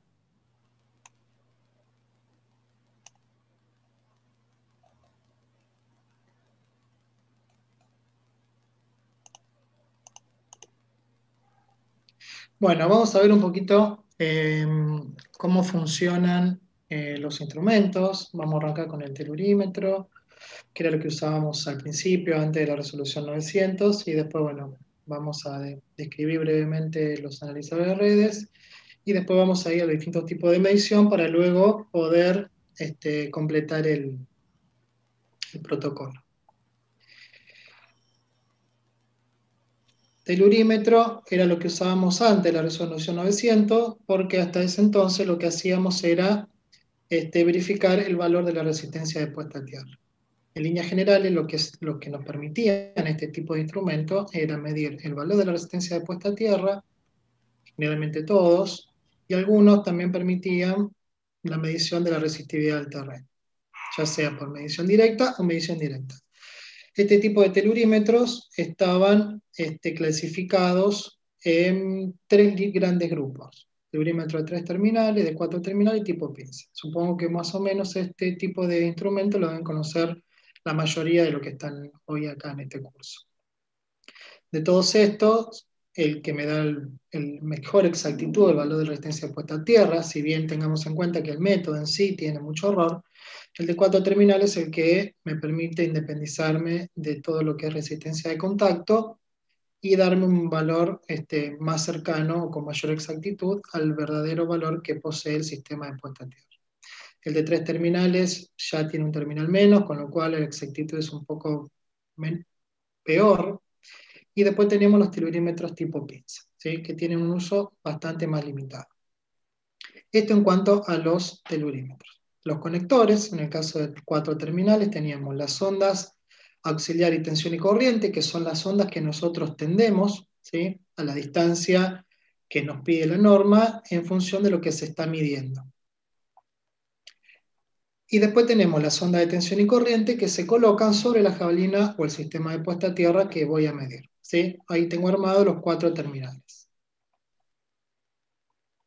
Para el caso de los telurímetros de tres terminales, tenemos que se funden los conductores E y ES y se combinan en un único conductor, que es el único que va a la jabalina. Generalmente en este tipo de instrumento es el conductor de color verde.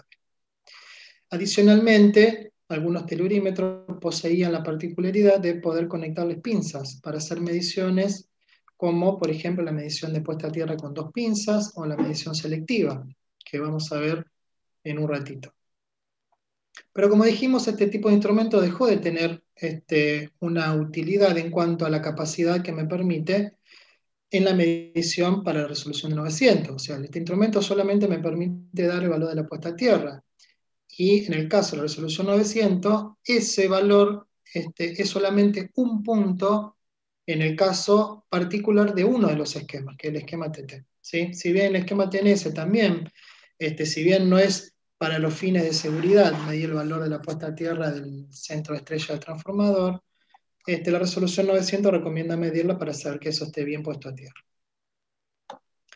En el caso de la resolución 900, lo que se utiliza son los organizadores de redes eléctricas. Entre las funciones más destacadas tienen la medición de lazo NP, es decir, la medición de lazo entre neutro y puesta a tierra, que en la resolución 900 es muy útil, por ejemplo, para el esquema TT, obtener el valor de la resistencia de puesta a tierra, porque como habíamos visto, como le explicó Nalia recién, en el esquema TT, el lazo de falla involucra tanto la resistencia de puesta a tierra de protección del lugar, como la resistencia de puesta a tierra de servicio. ¿sí?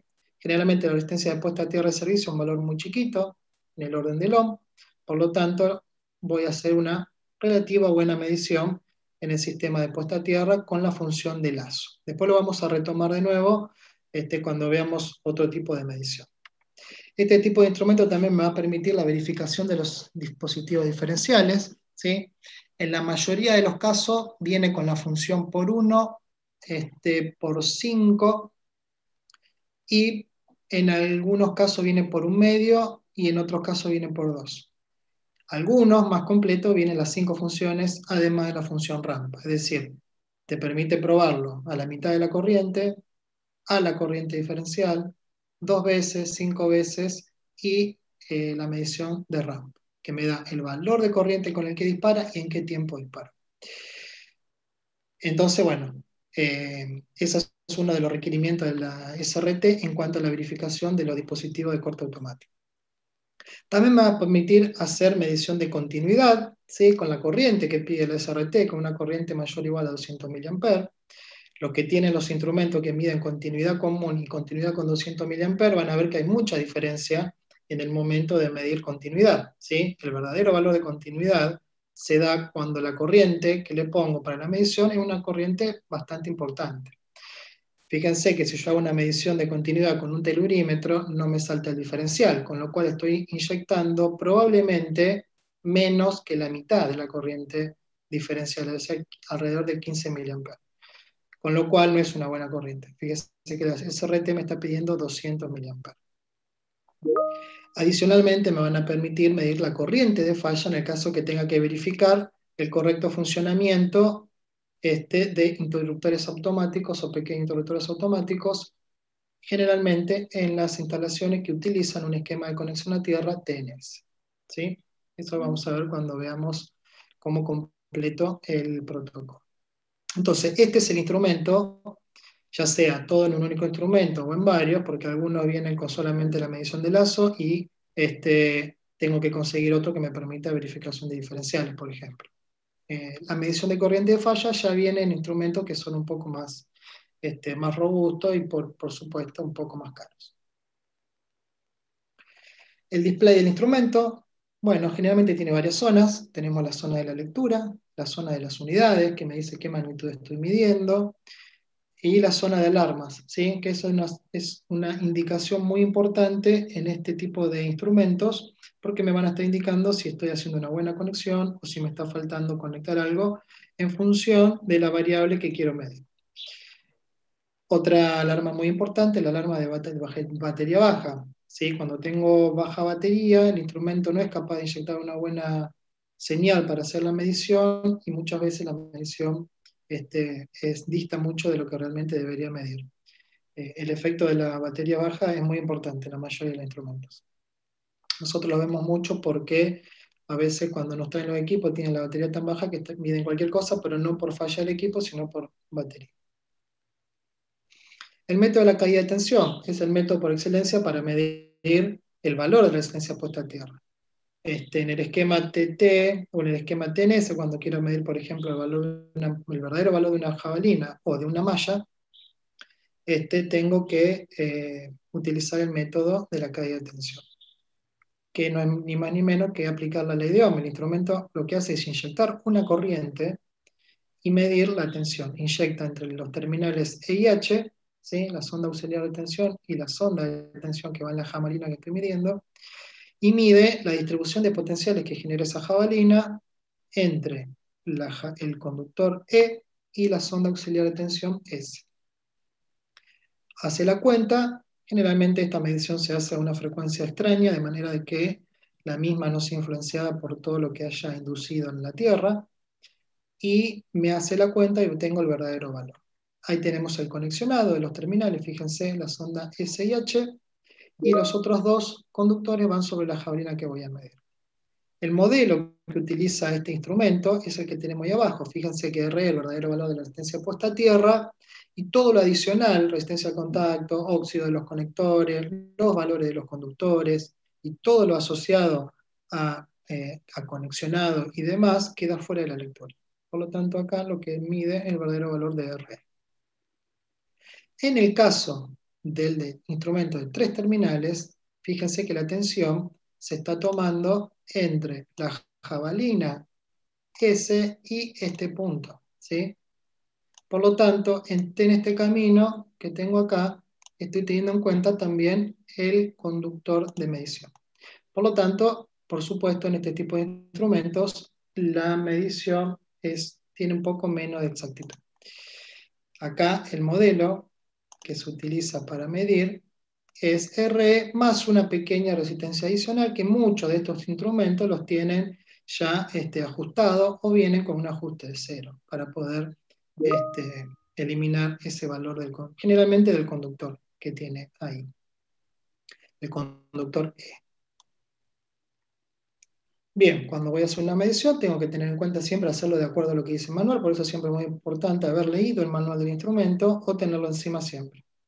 Muchos de los instrumentos hacen una medición previa de tensión, ¿sí? si encuentro más de 20 voltios no voy a poder medir, que muchas veces también es una complicación, porque a veces tengo 10 voltios o 15 y el instrumento ya no me deja medir, con lo cual es un problema.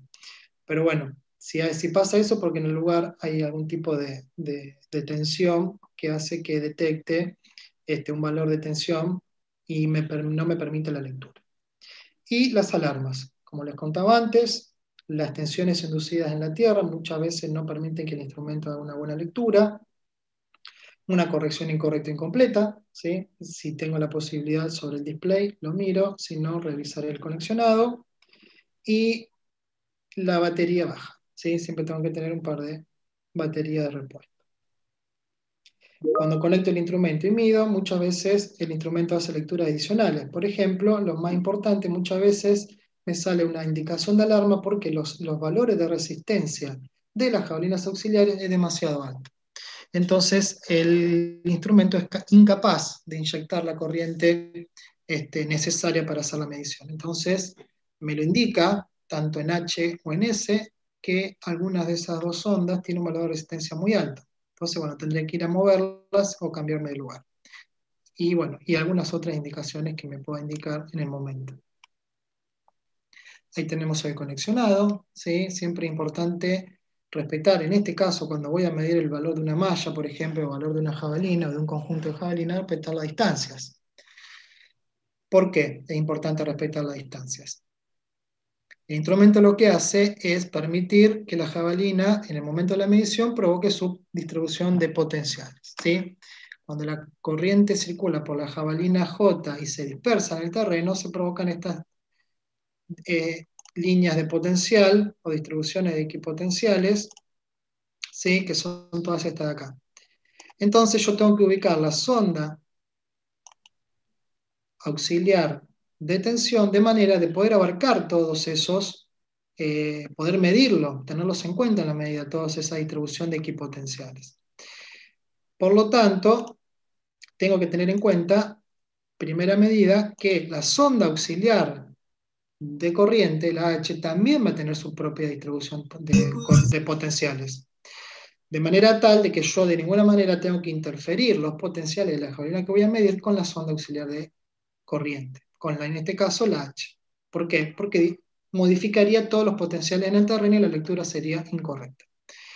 En este caso, en esa ubicación, fíjense que si yo hago un movimiento desde la jabalina J a la jabalina H, encuentro esta distribución de potenciales, fíjense, esta distribución de potenciales que lo puedo dibujar en esta curva. ¿Dónde está la verdadera lectura? Cuando encuentro la meseta. ¿sí? Si yo encuentro un punto y moviendo algunos metros en ambas direcciones y no encuentro este, modificación en la lectura, es el verdadero valor de la resistencia de puesta a tierra.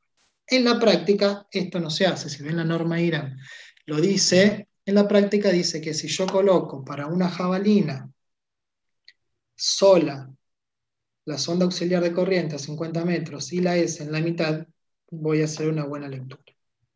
¿Sí? ¿Qué pasa si no respeto la distancia? ¿Por qué? Porque muchas veces le ha pasado seguramente a ustedes que no tengo lugar donde entender ni dónde clavar las jabalinas.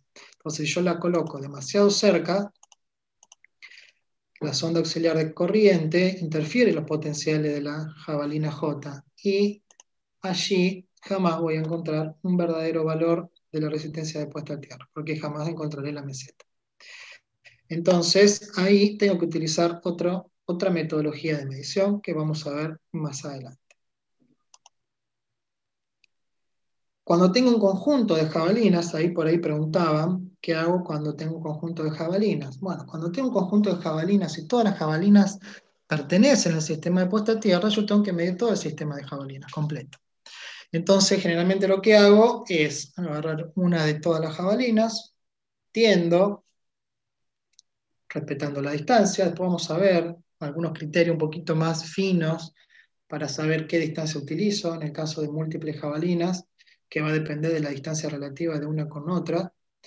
Entonces, este, mido el sistema completo. Si tengo tres jabalinas, mido el conjunto. Ahora, la pregunta es, ¿cómo sé si el conjunto, las tres jabalinas están aportando al conjunto? Bueno, una alternativa, si yo quiero saber, estoy haciendo un mantenimiento preventivo y quiero saber cómo están las jabalinas, bueno, tendré que desconectarla y medir cada una de ellas a ver si el valor que presentan es acorde a una jabalina de su longitud y después haciendo un paralelo, si están bien ubicadas al doble de la, longitud de cada una o más, si las tres están aportando y ver si el paralelo de las tres se acerca aproximadamente al valor que medide el conjunto. Si ustedes tienen idea, acá en Rosario, una jabalina de un metro y medio este, trabajando sola, tiene un valor aproximadamente de 7, 8, 10 ohmios. Si yo tengo un conjunto de 5 jabalinas iguales y mido 20 ohmios, bueno, algo está pasando. Entonces, ¿cómo me doy cuenta de eso? Bueno, dos caminos, le decía. Mido el conjunto y después me aseguro si todas las jabalinas están aportando de la misma forma al sistema desconectando y midiendo cada una, no es necesario, porque yo cuando en la resolución 900 me piden el valor del sistema de puesta a tierra, no me piden el valor de las distintas jabalinas, me piden el valor del sistema de puesta a tierra. En este caso, el sistema pueden ser dos jabalinas, como tengo ahí en la figura. Si adicionalmente quiero saber si aportan, lo que puedo hacer es medir el conjunto y hago continuidad entre ellas, por ejemplo. Si no, si por algún motivo quiero saber el valor, bueno, puedo utilizar la medición selectiva la medición selectiva conecto de la misma forma como mido el conjunto, pero luego, si tengo la posibilidad de conectar una pinza, hago la cuenta o la medición con el valor de corriente por cada una de las jabalinas. Y así estaré midiendo el valor de esa jabalina como si estuviese trabajando sola, por más que esté conectado. Básicamente, ¿qué es lo que hace el instrumento? En vez de hacer la cuenta con el valor de corriente que viene por el sistema completo, lo hace con el valor de corriente que viene por la pinza. ¿Sí? Entonces es como si estuviese midiendo esa jabalina de manera independiente.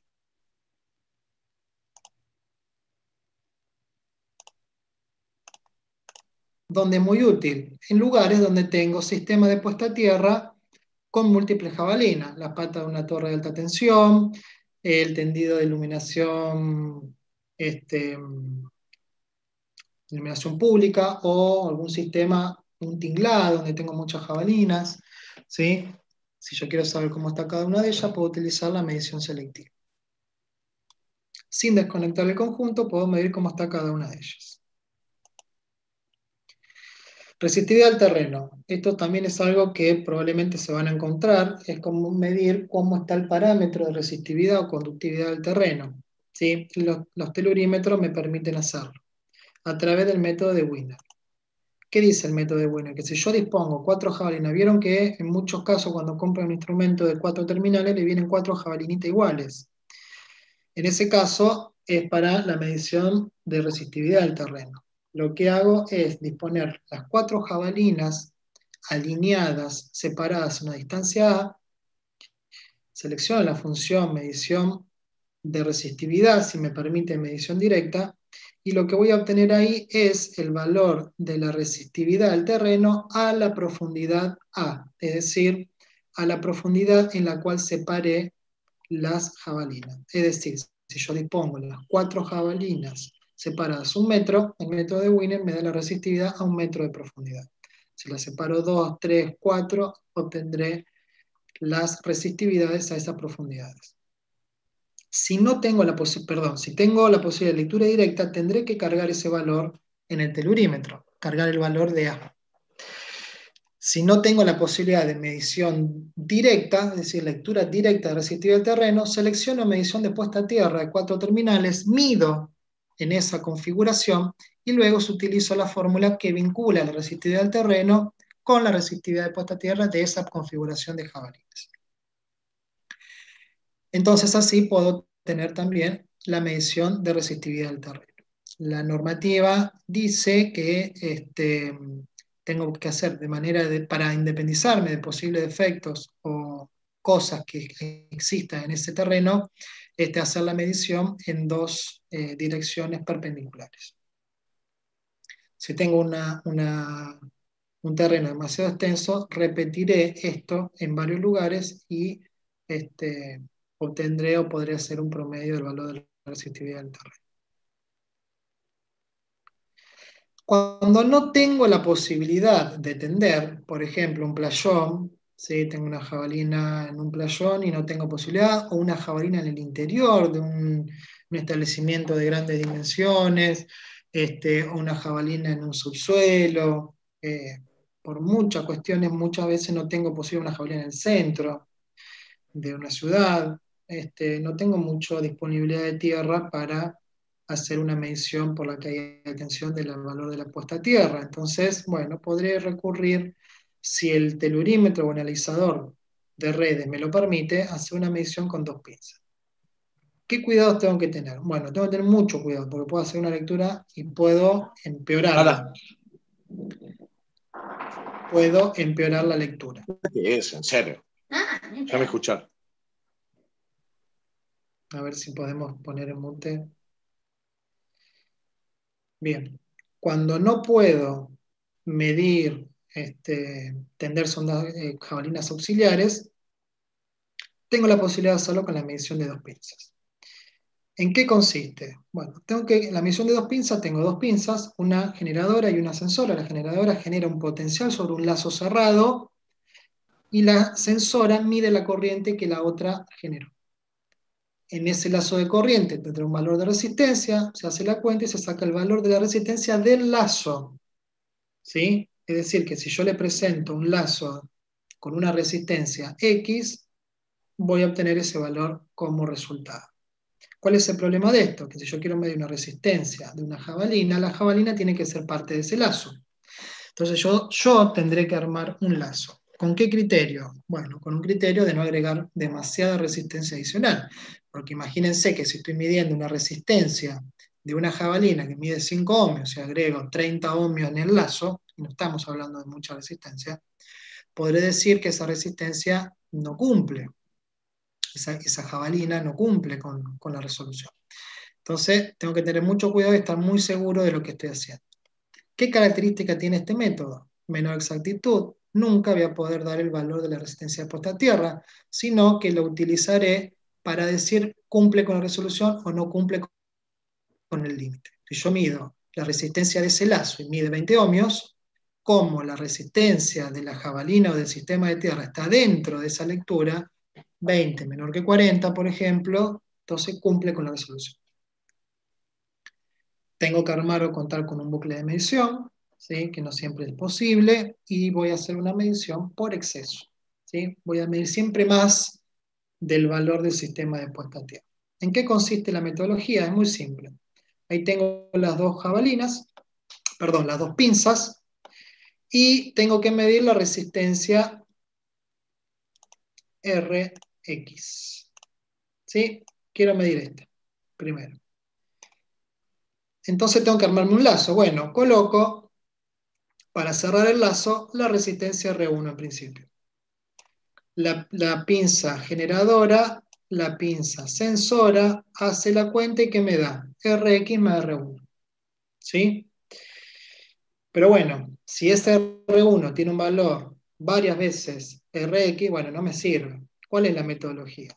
Que todo lo que agregue para armar el lazo de medición, toda la resistencia que agregue, la voy a agregar en paralelo y tratando de que tengan aproximadamente todas el mismo valor en lo posible. ¿Por qué? Porque si yo agrego múltiples jabalinas en paralelo, ustedes saben que el paralelo siempre da menor que la menor. Entonces, si logro poner una buena resistencia de algunos ohmios, un ohmio, dos ohmios, y agrego muchos en paralelo, ese valor de resistencia va a tender idealmente a cero.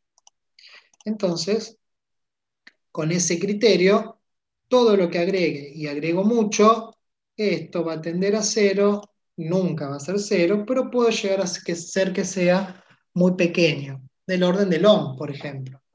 Entonces, si Rx mide 10 ohmios y agrego un ohm, mide 11. Entonces está bastante bien, digamos.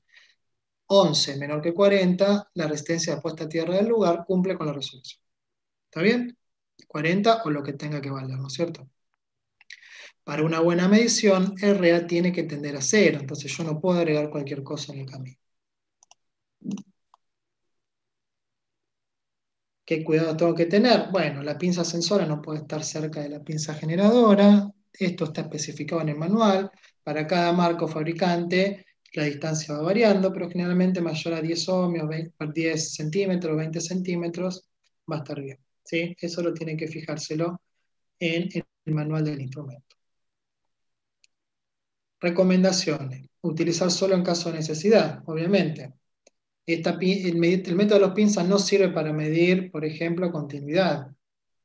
¿sí? Porque todo lo que tenga en, el, en ese lazo lo voy a contar, incluidos los cables. O sea, si yo tengo, mido continuidad con un cable de 50 metros, porque tengo que medir la continuidad entre dos puntos, no sé por dónde se está cerrando, entonces no es una buena metodología para medir continuidad. Se lo aclaro porque muchas veces nos han comentado que miden continuidad de esta forma. Tengo que armar cuidadosamente un lazo de medición, solo para verificar límites, y tengo que calibrar las pinzas y asegurarme de que jamás se me caiga. Ejemplo, iluminación pública, ¿sí? donde cada tanto tengo una jabina puesta a tierra. Si yo tengo que medir alguna de todas esas, todas esas cientos de jabalinas conectadas en paralelo. Si tengo que medir alguna de esas, tengo esa y muchas iguales a esa en paralelo. Entonces, bueno, ahí tengo ya armado directamente el lazo. Si yo coloco la jabalina ahí, las pinzas sobre la jabalina RX, estoy midiendo RX con un paralelo de múltiples jabalinas conectadas en paralelo. Todas estas están en paralelo, y muchas, son muchísimas que están conectadas en paralelo entonces la medición va a ser buena.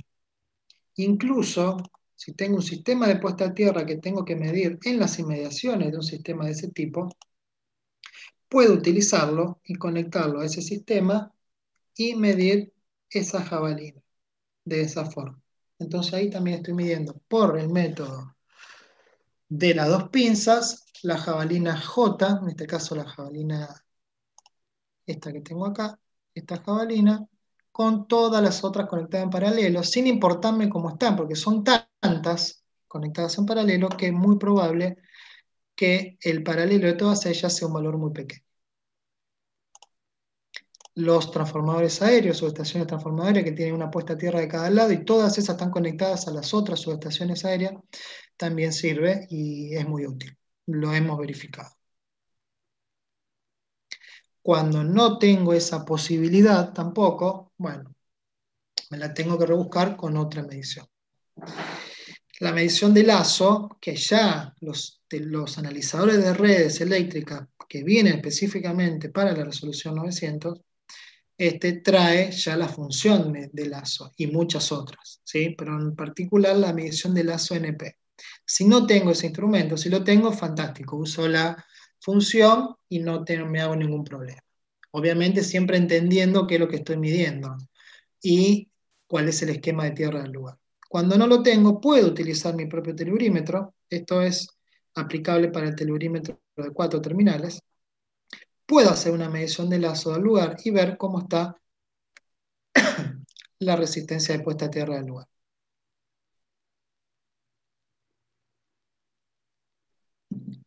Bien, ¿qué hago? Me voy a un toma corriente. Fíjense, convierto el telurímetro en una medición de dos, en un instrumento de medición de dos, de dos eh, terminales, junto el terminal junto el terminal E y el ES en un, en un único, o los dos conductores lo conecto al neutro, por ejemplo, y el S y el H, que son las ondas auxiliares, los conecto a la pata del conductor de protección del toma corriente. ¿Qué cuidados tengo que tener? Primero, asegurarme que el, que el toma corriente esté bien armado. Entonces tendré que verificar que el vivo esté en el vivo, el neutro esté en el neutro y que la tierra esté en la tierra.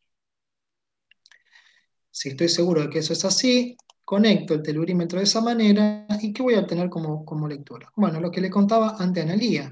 En el esquema de conexión a tierra TT, ¿sí? la corriente de falla, ante una falla aislación, circula tanto por la resistencia de puesta a tierra del lugar, circula tanto por la resistencia de puesta a tierra del lugar como por la resistencia de puesta a tierra de servicio. ¿sí?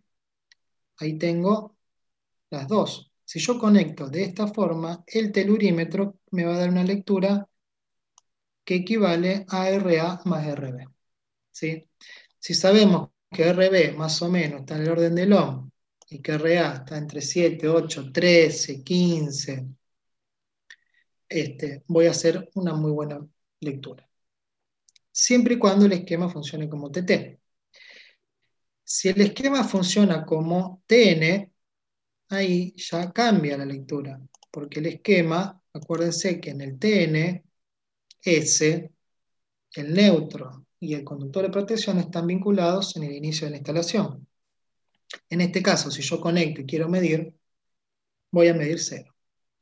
Entonces, no solamente puede pasarme que, por ejemplo, vaya a un lugar que tiene que tener un esquema TT y cuando hago una medición de lazo, encuentro que la lectura del lazo me da 0, 0,1, 0,2, 0,5. Cosa que es sospechoso. ¿Por qué? Porque la única forma, o sea, yo nunca voy a tener una jabalina, dos o tres jabalinas que en conjunto me den 0,8. Entonces ahí, que es algo muy común, en ese lugar se ha cambiado el esquema de conexión a tierra.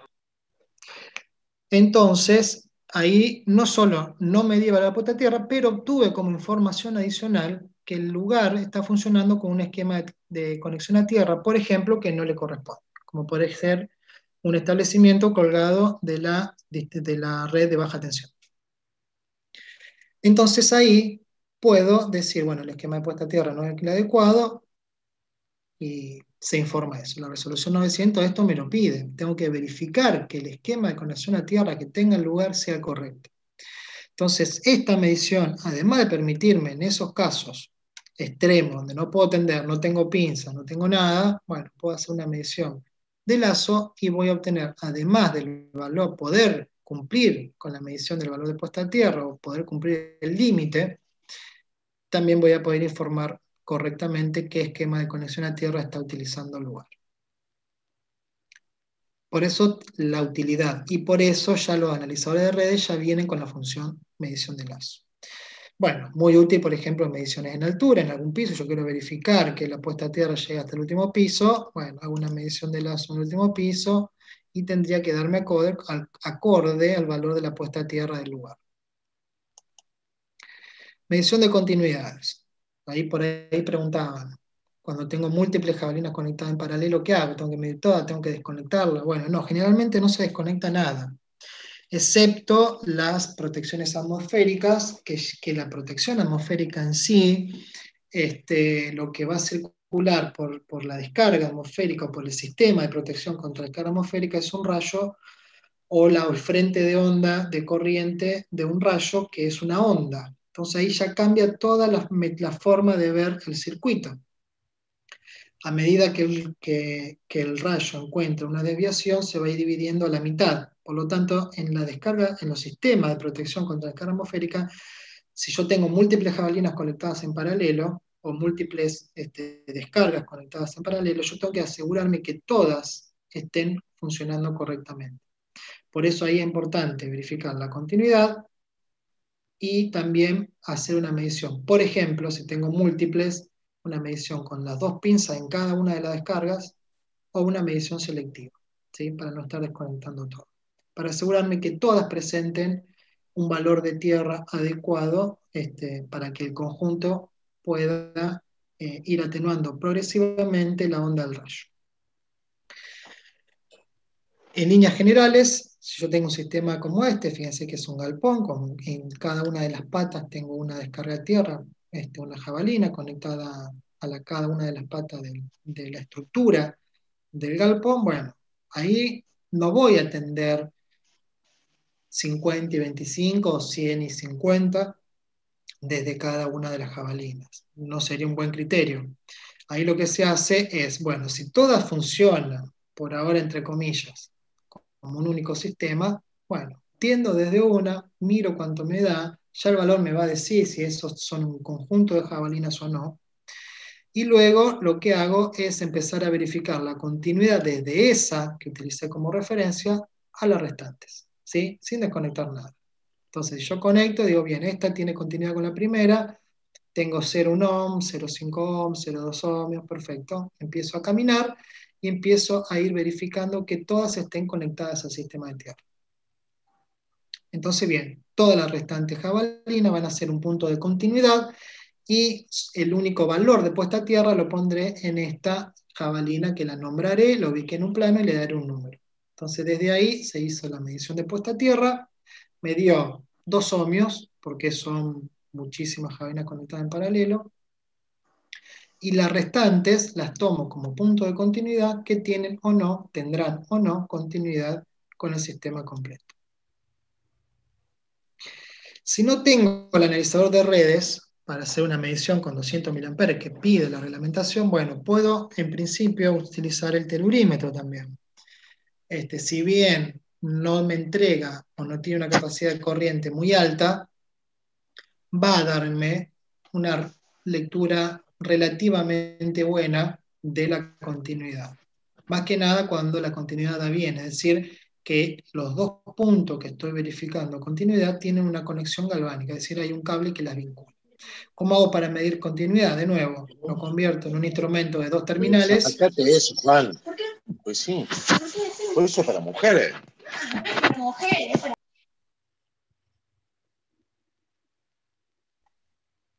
Decía, convierto el telurímetro en un instrumento de dos terminales y conecto, conecto dos a un punto, que puede ser la referencia, y los otros dos, el S y el H, a una jabalina cercana, a la puerta de un tablero, una más accesible, una escalera, cualquier punto que yo tenga que verificar si tiene continuidad con mi referencia.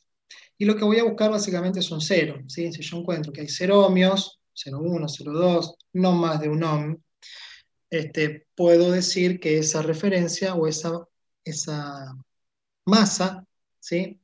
tiene continuidad con el sistema de puesta a tierra. Si encuentro un valor mayor de 1 ohm, generalmente dan o muy bien o muy mal. Si encuentro un valor alto, quiere decir que eso no tiene continuidad con el sistema de puesta a tierra. Acá tenemos, por ejemplo, la verificación de la puerta de un tablero con la jabalina del lugar, si tengo, si tengo continuidad o no tengo continuidad.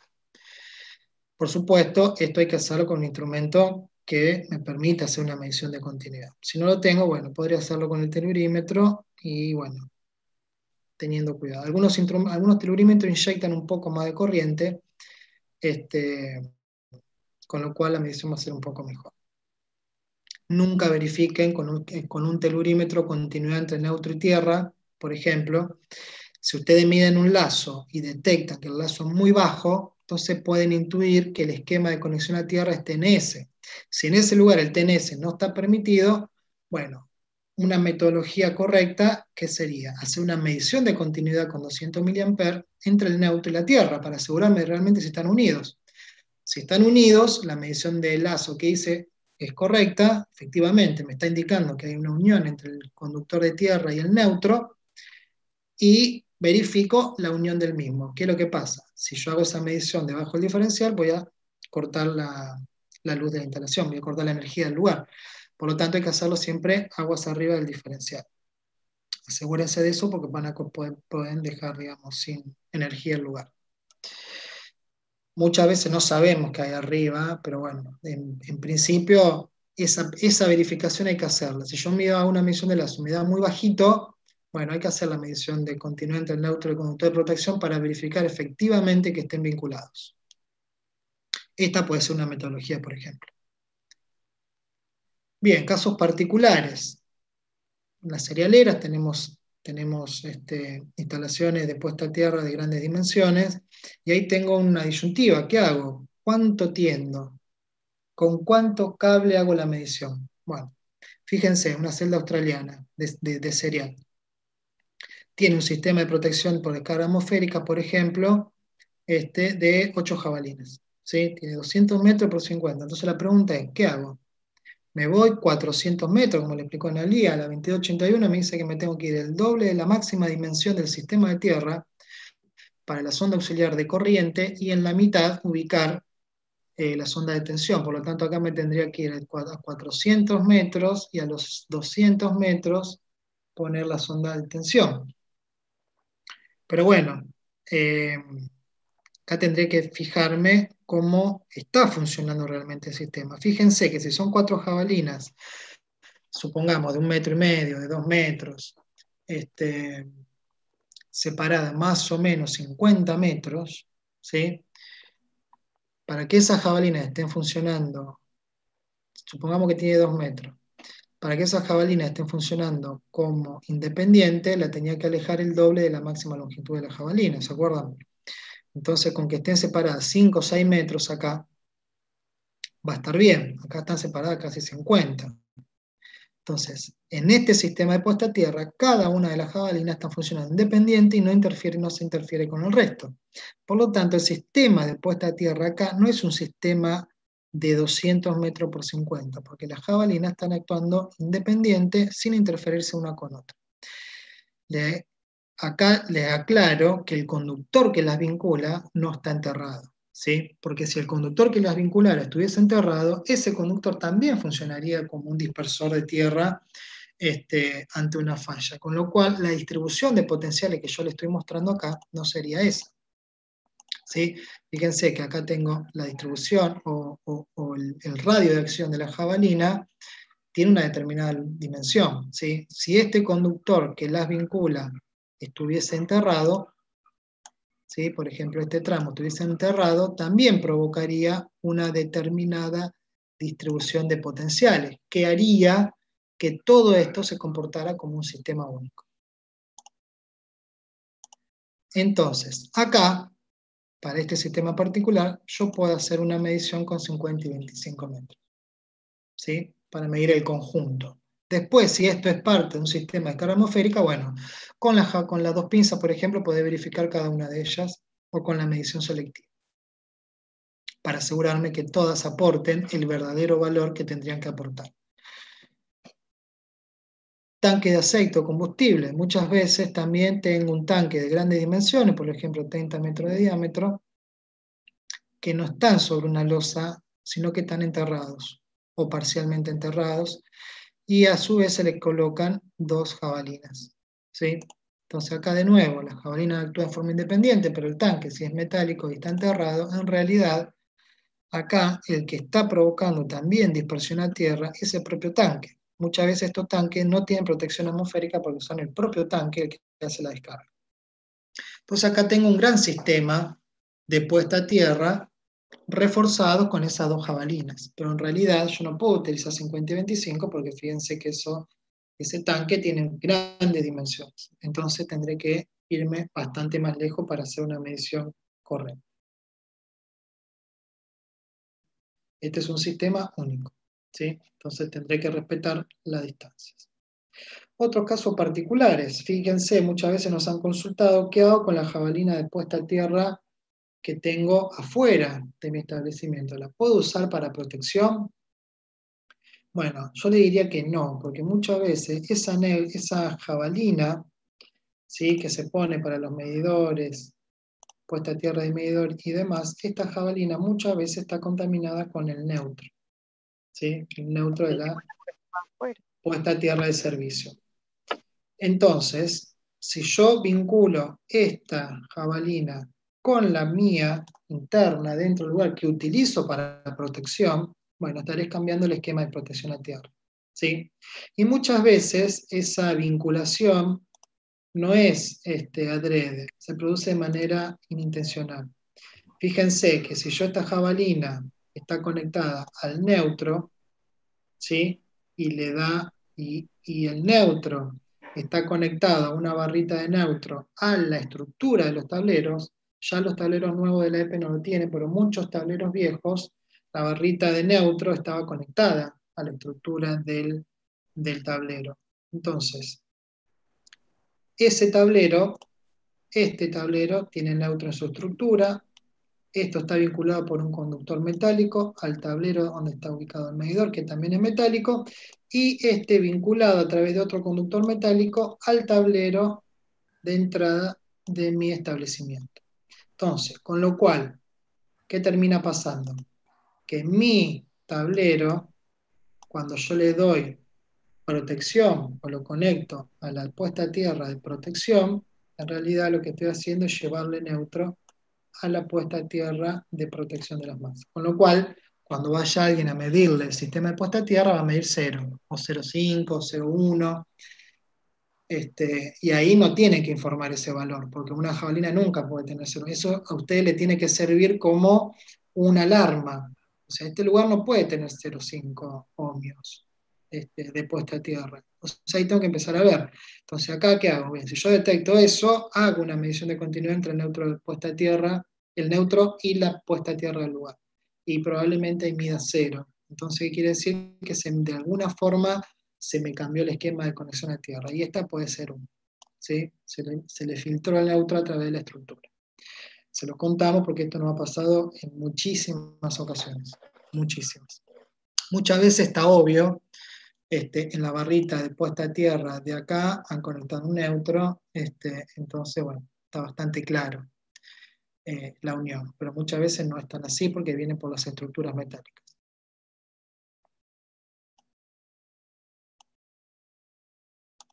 Bien, ¿cuál es el esquema de conexión a tierra? Y no es más TT, es TNS en este caso. Bien, con todos esos, ya sabiendo medir, con todas las metodologías de medición que me puedo encontrar, vamos a ir viendo un poquito el protocolo. Protocolo, uso obligatorio, lo que hablábamos recién, antes preguntaba si lo tenía que usar para este lugar, para el otro, bien, la SRT, ninguna medición de puesta a tierra puede hacerse fuera del protocolo de puesta a tierra.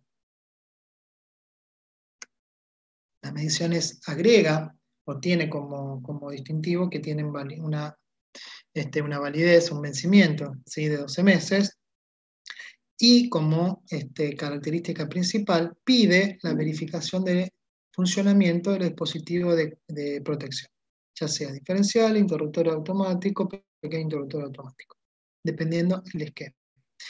Bien, en la hoja 1 tengo los datos del, cliente o la persona que me contrata para hacer las mediciones en el lugar, dirección, razón social, todos los datos del cliente, Dato de la medición, el instrumento que estoy utilizando, la fecha de calibración, la fecha, hora de inicio, hora de finalización y metodología utilizada.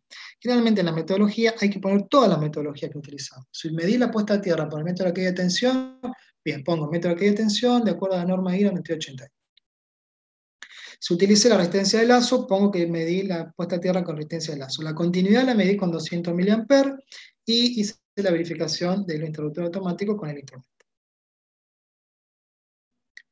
Observaciones, cualquier observación que quiera poner, no sé. El, cliente me pidió en esta etapa tal medición. Solo continuidad, solo puesta a tierra, solo este, verificación de interruptor automático, solo verificación de diferencial. No sé, lo que el cliente le haya pedido, lo puedo poner ahí. Y toda la documentación que adjunto, croquis este, y certificado de calibración. Acá tenemos la hoja donde, van, donde vamos a informar. Fíjense, esto obviamente, como el protocolo aplica para todo tipo de emisión, de puesta a tierra, para distintas instalaciones, desde un kiosco hasta la empresa más grande, bueno, desde el 2015 hasta acá, cada uno ha interpretado el, llenado del protocolo como más le gustó, digamos, ¿sí? porque abarca todo tipo de, este, de instalaciones.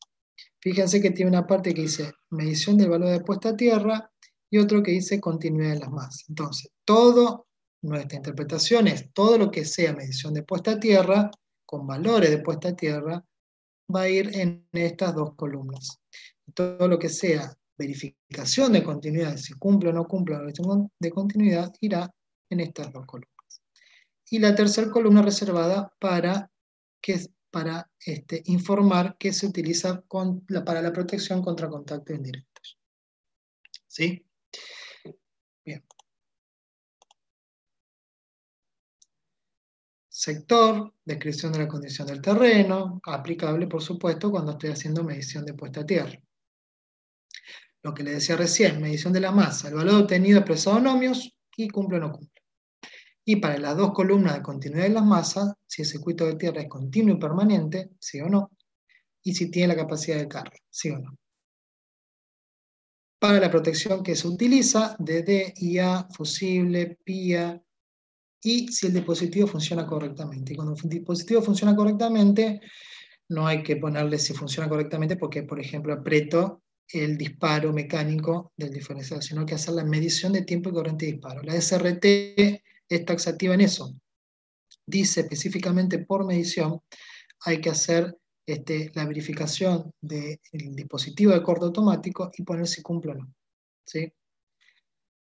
Se adjuntará a, esta, a este protocolo las hojas en donde figuren las mediciones del, este, del dispositivo. Por ejemplo, el diferencial en qué corriente lo ensayé eh, y si cumple o no cumple.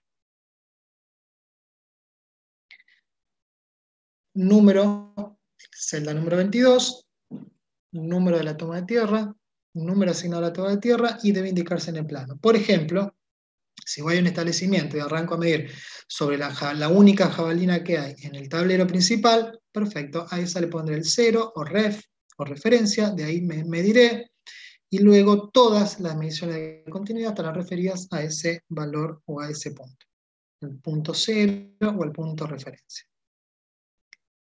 El sector, el sector de la presa donde está la toma, la toma de tierra correspondiente, si tengo una en producción, si tengo una en embalaje, en logística, en ingreso, ¿sí? donde está ubicada y cómo se le llame al sector, eso va a depender de cada establecimiento. Condición de terreno, ¿cuál es la condición del terreno? Recuerden que la 2881 dice que tengo que estar alejada por lo menos dos días después de una lluvia y no tiene que eh, haber o avisorarse este, nubes en el horizonte, creo que lo dice así, literalmente. Digamos que no puedo medir con pronóstico de lluvia o de tormentas. el uso, el uso habitual que se le da a toma de tierra, ¿sí? toma de tierra de la masa, puesta a tierra de servicio, puesta a tierra de protección, este, puesta a tierra de toma corriente, lo que sea, el uso que se le está dando a la puesta a tierra que estoy midiendo. El esquema utilizado, ¿qué esquema tiene lugar? TT, TN y T, eso va a depender del establecimiento que estamos midiendo. Recuerden que el, único obligatorio es el TT para instalaciones que se este, cuelgan de la red de baja tensión. Valor de la puesta a tierra, cumple o no cumple, fíjense, para protección diferencial máximo 40, este, 40 ohmios. ¿sí? Bien, eso generalmente es lo que se verifica. Continuidad de las masas, continuidad entre el electrodo de tierra y las masas medida con un instrumento adecuado. Entonces, ¿qué estoy haciendo? Mido si, por ejemplo, todos los tableros del lugar tienen continuidad con la única jabalina del lugar. Bien, hago una medición de continuidad y verifico, obviamente, que haya cero ohmios, porque tiene que haber un cable que las vincule. Entonces, verifico efectivamente que haya continuidad entre todos los tableros, todas las masas extrañas, todos los caños, todos los tomacorrientes, todo esté referido a la puesta a tierra del lugar. Celda 30, ¿tiene la capacidad de carga este, adecuada? Capacidad de, carga de conductor de protección y de conductor de puesta de tierra. La sección mínima de conductor de protección es 2 milímetros y medio, aislado verde y amarillo. El conductor de puesta a tierra, que es el principal que vincula la jabalina con la barra principal de puesta a tierra, es mínimo 6 milímetros. ¿sí? Después, para todos los puntos de continuidad, si yo tengo que verificar si tiene la capacidad de carga, bueno, tendré que recurrir a la tabla tenemos acá. Fíjense, si el tendido se hace con conductores, los conductores, digamos, donde hago el tendido del, lugar, tiene una sección menor que 16, la sección del conductor de protección tiene que tener la misma que la de los conductores con el que estoy haciendo el tendido de la alimentación. Es decir, 16, hasta 16 es 16. ¿sí? Si tiendo entre 16 y 35, me voy al límite inferior, 16. Y si tiendo con más de 35, siempre es la mitad de la sección del conductor de protección. Muchas veces hemos encontrado que se tiende con 4 milímetros y el conductor de protección tiene un milímetro. Entonces, este, ese, ese conductor de un milímetro no, no tiene la capacidad de carga, porque ante una falla, una fuga, un cortocircuito, ese conductor no, se, no va a tener la capacidad de carga para soportar esa falla. Entonces, bueno, eso es lo que hay que verificar en esa, en esa este, columna particular. Obviamente lo hago una vez, verifico que el tendido se haga con y que el conductor de protección tenga la misma sección, por ejemplo, hasta 16. Protección contra los contactos indirectos, celda 31. Protección empleada. Bueno, si es DD, si es interruptor automático, si es pequeño interruptor automático, si es un fusible. ¿Sí? Y si la protección diferencial cumple o no. Entonces tengo que ahí, tengo que, bueno, la tabla que le mostró en el IA, ¿qué pasa? Este, idealmente habría que hacer las cinco pruebas, ¿sí? Del diferencial, por medio, por uno, por dos, por cinco, este, y la rampa. Y tiene que pasar todas las pruebas. Si el esquema de protección es TNS y utilizo para la protección contra los contactos indirectos el propio interruptor automático un pequeño interruptor automático, bueno, tendré que verificar la corriente de falla. Es decir, que ante una falla en esa masa, el interruptor que protege esa instalación sea capaz de ver una corriente de falla de tal valor. Por lo tanto, hay que medirla. Y ahí sí que se complica un poquitín más. Protección contra contacto indirecto solo en caso TNS. Protección con, interruptor automático. Tengo que medir o calcular, entre comillas, porque yo particularmente no soy muy partidario del cálculo, porque el cálculo es muy ideal y no tiene en cuenta eh, cuando el sistema de puesta a tierra eh, empieza a presentar, por el paso del tiempo, oxidaciones, solturas, este, todo eso hace que la resistencia del lazo aumente y en el cálculo eso uno lo tiene en cuenta. Entonces, generalmente lo que se hace es para decir correctamente si esa masa, una falla sobre una masa es vista por el interruptor automático, hay que medir la corriente de falla. Si es con un pequeño interruptor automático, verificar si la corriente de disparo es mayor que la corriente de falla. ¿Sí? Menor en este caso, perdón si la corriente de falla es mayor que la corriente instantánea de disparo del pequeño interruptor automático. Por ejemplo, una instalación protegida con una termomagnética de corriente nominal 16 A curva C tiene una corriente de falla medida en una de sus masas de 230 A. La pregunta es, ¿ese interruptor automático es capaz de ver esa corriente de falla? Bueno, Es muy simple. Si tiene una curva C, fíjense que la curva C actúa entre 5 y 10 veces la corriente nominal. Por lo tanto, para estar seguro de que esa, de ese pequeño interruptor automático va a haber esa corriente de falla, la tengo que comparar con qué valor. Con 10 veces 16 amperes, es decir, 160 amperes. 230 mayor que 160, dispara instantáneamente y es capaz de verlo. Entonces, esa masa está cubierta contra los contactos indirectos con esa termomagnética de 16 A curva C. ¿Sí? Realmente la corriente de falla en este tipo de esquemas son bastante más altas. Pero, bien, eh, es un ejemplo.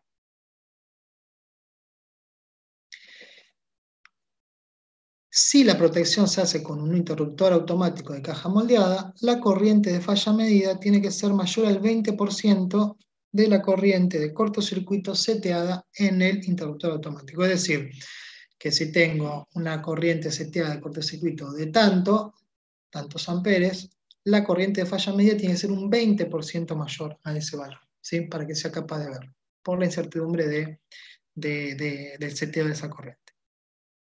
Si esa protección se hace con fusible, tendré que ver qué fusible es, ir a la curva del fusible y con la corriente de falla medida en esa masa, verificar que el fusible funda dentro de los 5 segundos. ¿sí? Hasta 5 segundos, si la ve a esa corriente, este, estará protegida también por el fusible. El problema radica eh, en medir la corriente de falla. la corriente de falla, con los instrumentos organizadores, tienen que medirse con la masa funcionando, porque necesitan la tensión de fase de, la fase, de las masas este, para hacer la medición. Entonces se mide el lazo de falla con la tensión que tiene de alimentación esa masa, este, y ahí hace la cuenta y verifica, te da el valor de la corriente de falla que tiene. Al medir el lazo de falla, tiene en cuenta todo lo que hay, todos los defectos que pueda tener ese lazo de falla de esa masa.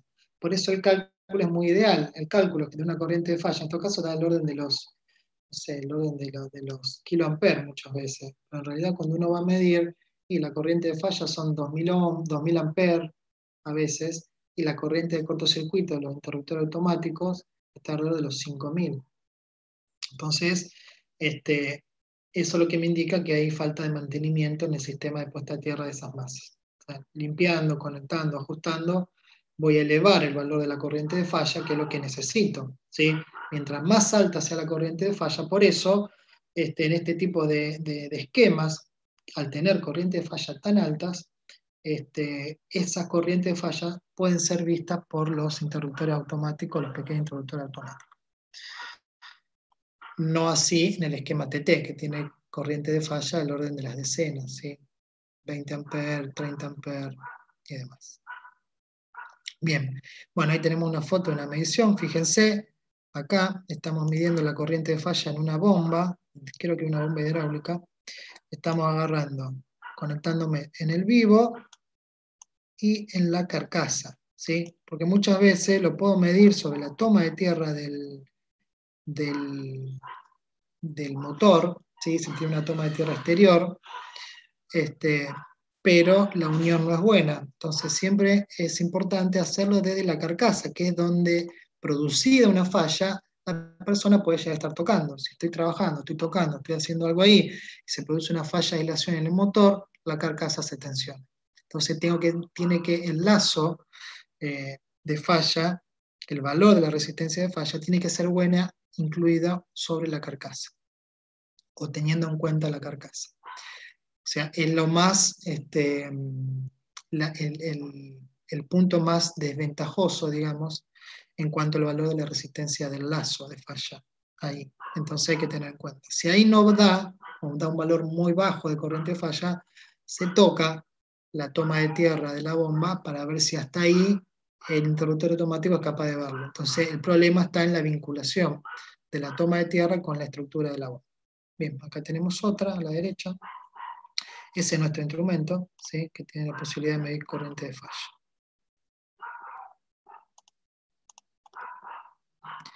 Bien, protocolo de emisión, la hoja 3, tengo una zona de conclusiones, ¿sí? acá pongo todo lo que encontré, el sistema de tierra no cumple con la EA, este, se encontraron toma corriente sin, protección diferencial, todo lo que encontré, todo lo, más importante que encontré lo pongo ahí.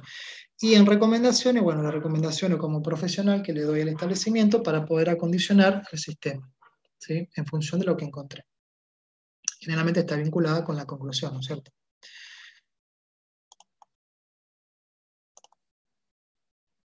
Entonces, para el esquema de conexión TT, mido el valor de la puesta a tierra, verifico la continuidad del, conductor de protección a todas las masas con el sistema de puesta a tierra, incluido las patas de tierra de toma corriente. Acá habría que agregar también las, este, las estructuras de las luminarias, si son metálicas. Verificar continuidad con masa extraña, escalera, marcos, puertas, caños y demás verificar la existencia de dispositivos diferenciales en circuitos terminales y seccionales. ¿sí? Muchas veces no hay coordinación entre un tablero, entre un circuito seccional y terminal. Por lo tanto, cuando se prueba un diferencial, te salta que está aguas arriba. Bueno, todas esas son cuestiones que uno pone en las conclusiones finales. Tampoco es tan grave, digamos, pero este, siempre es importante que haya coordinación o selectividad en tiempo en corriente verificar el correcto funcionamiento de los diferenciales, medir tiempo y corriente, hacer las pruebas. Para el TNS, medir la distancia de puesta a neutro, de a tierra del neutro del transformador, si bien no es afine de protección, si este, lo recomienda la SRT, que esté menor a 2 ohmios. Verificar la continuidad de conductor de protección, obviamente de todas las masas eh, eléctricas y la barra de tierra. Verificar continuidad con las masas extrañas, verificar la existencia de positiva protección contra contacto indirecto. Acá tengo que ver qué se está usando para la protección contra contacto indirectos y hacer la verificación. Si se utiliza dispositivos diferenciales, hago lo mismo, pruebo tiempo y corriente de disparo para dar el OK. Si hay un interruptor automático, bueno, la corriente de falla medida en cada una de las masas tiene que ser un 20% mayor a la corriente de cortocircuito. Si es un pequeño interruptor automático, bueno, mido la corriente de falla y veo la curva del, interruptor que estoy usando. y si utilizo fusible, verificar que funda dentro de los 5 segundos para cada una de las corrientes de falla. ¿Qué pasa si tengo grupos y lo pusimos particularmente porque los grupos de electrógeno o las alimentaciones de reserva terminan trayendo algún problema muchas veces en las instalaciones. ¿sí? La EA que dice, para grupos este, electrógenos o alimentación de reserva fijos, el neutro tiene que tener un valor de puesta a tierra menor a 10 ohmios. El neutro del grupo deberá estar separado del neutro de la red pública, ¿sí? importantísimo. Ahora vamos a ver por qué y en los móviles a instalar además un interruptor diferencial. Fíjense, esta es la instalación correcta de una alimentación de reserva. ¿Qué es lo importante de esto? La EA dice que la conmutación entre la alimentación fija y la de reserva, es decir, de la red pública y el generador de reserva, tiene que ser mediante una termomagnética tetrapolar. ¿Qué quiere decir? Que tengo que cortar los cuatro conductores eh, activos. El neutro también se considera un conductor activo. Tengo que cortar los cuatro. ¿Sí? Entonces, con esto me aseguro de que cuando salgo de la alimentación de la red pública y entra en funcionamiento el grupo, fíjense que el neutro de grupo tiene que tener su tierra menor a 10 ohmios, ¿sí? y tengo la puesta a tierra de la instalación, que es para fines de protección.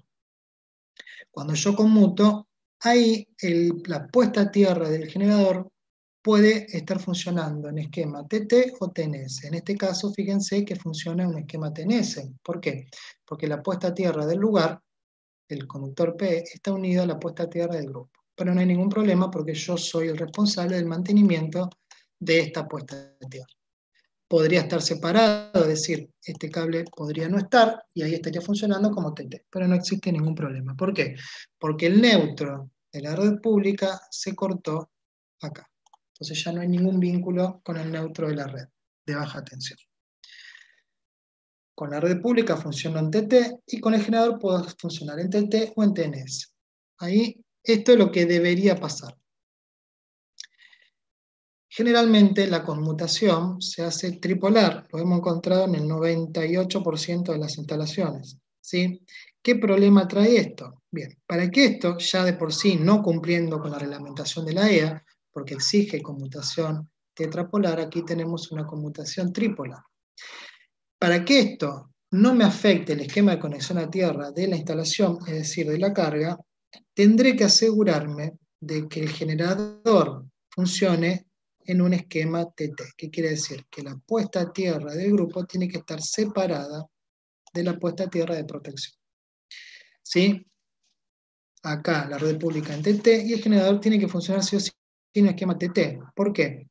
Porque no puedo equipotencializar el grupo, la puesta a tierra del grupo, con la puesta a tierra de protección. Porque si hago eso, fíjense, si yo vinculo la puesta a tierra de protección, como está acá, con un conductor a la puesta a tierra de protección de la carga, fíjense que el neutro, miren el camino del neutro, neutro entra la carga, pero también se me vincula con la puesta a tierra del grupo que me termina trayendo neutro a la puesta a tierra de protección de mi carga. Por lo tanto, cuando yo mido el esquema de protección a tierra, por más que el grupo no esté funcionando y yo esté colgado a la red pública de baja tensión, mi esquema es un esquema TNS. Puedo tener todo perfecto en mi instalación, pero en realidad el problema me lo está trayendo el grupo, porque a través de la puesta a tierra del grupo se me está filtrando neutro a la jabalina de protección. Entonces, hay que tener muchísimo cuidado. Hemos encontrado muchísimos de, de estos casos en donde tuvieron que separar, donde se tuvo que encontrar una solución, digamos, lo menor de los males, digamos, este, se tuvo que separar esto y asegurarse de que este, cuando entra el grupo esté funcionando un esquema TT.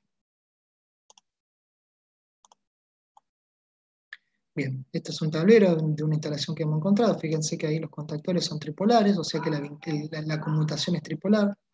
Nunca se corta el neutro. Acá tengo una llave motorizada que debería ser, que es lo ideal, digamos, para este tipo de instalaciones, pero fíjense que no están usando, no están cortando el neutro, sino que directamente lo unen en la carga. O sea, eso y nada es lo mismo. Acá debería venir el conductor de neutro de la red y cortarse cuando entra el grupo, pero no.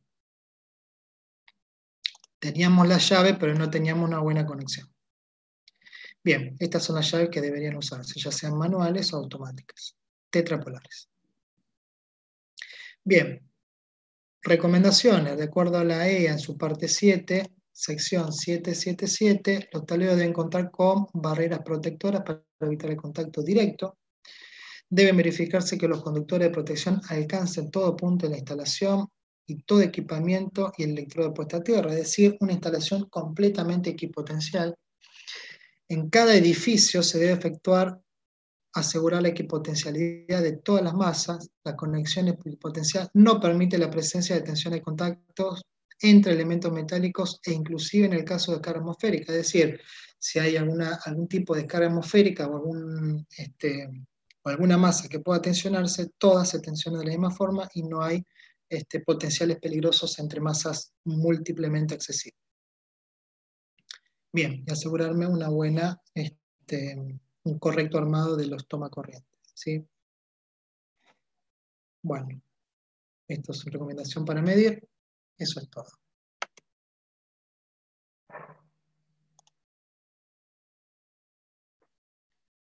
Bueno, vi que mientras hablaba hicieron muchísimas preguntas. No sé si alguien más quiere hacer alguna consulta.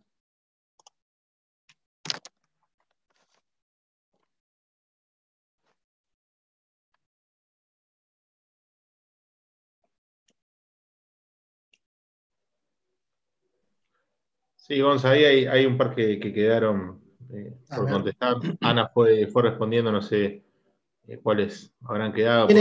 ¿Quiénes, pueden realizar eh, y firmar el protocolo? En Santa Fe pueden hacerlo los ingenieros eléctricos y los ingenieros electrónicos. Este, y no sé si ingeniero laboral también, no lo sé, este, pero hasta donde sé el colegio permite a esos profesionales.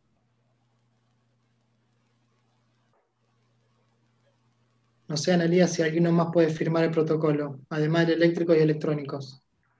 Eh, los electromecánicos y los técnicos eléctricos y electro, electromecánicos. Ah, los técnicos, los técnicos también. El colegio de técnicos habilita a los técnicos eléctricos y el colegio de ingenieros especialistas a los eléctricos, electromecánicos y algunos planes de los electrónicos. Electrónicos sí, Daniel Micheletti, electrónicos sí están permitidos ahora. Algunos, no todos. Algunos, algunos. depende del plan, exacto, exacto. Eh, eso en la provincia de Santa Fe, cada provincia regula quién puede firmar el protocolo. En la provincia de bueno, bueno, el Copitec permite a los electrónicos también, depende del plan, firmar mediciones de puesta a tierra. Y el Copitec tiene este alcance nacional, digamos. Así que, bueno.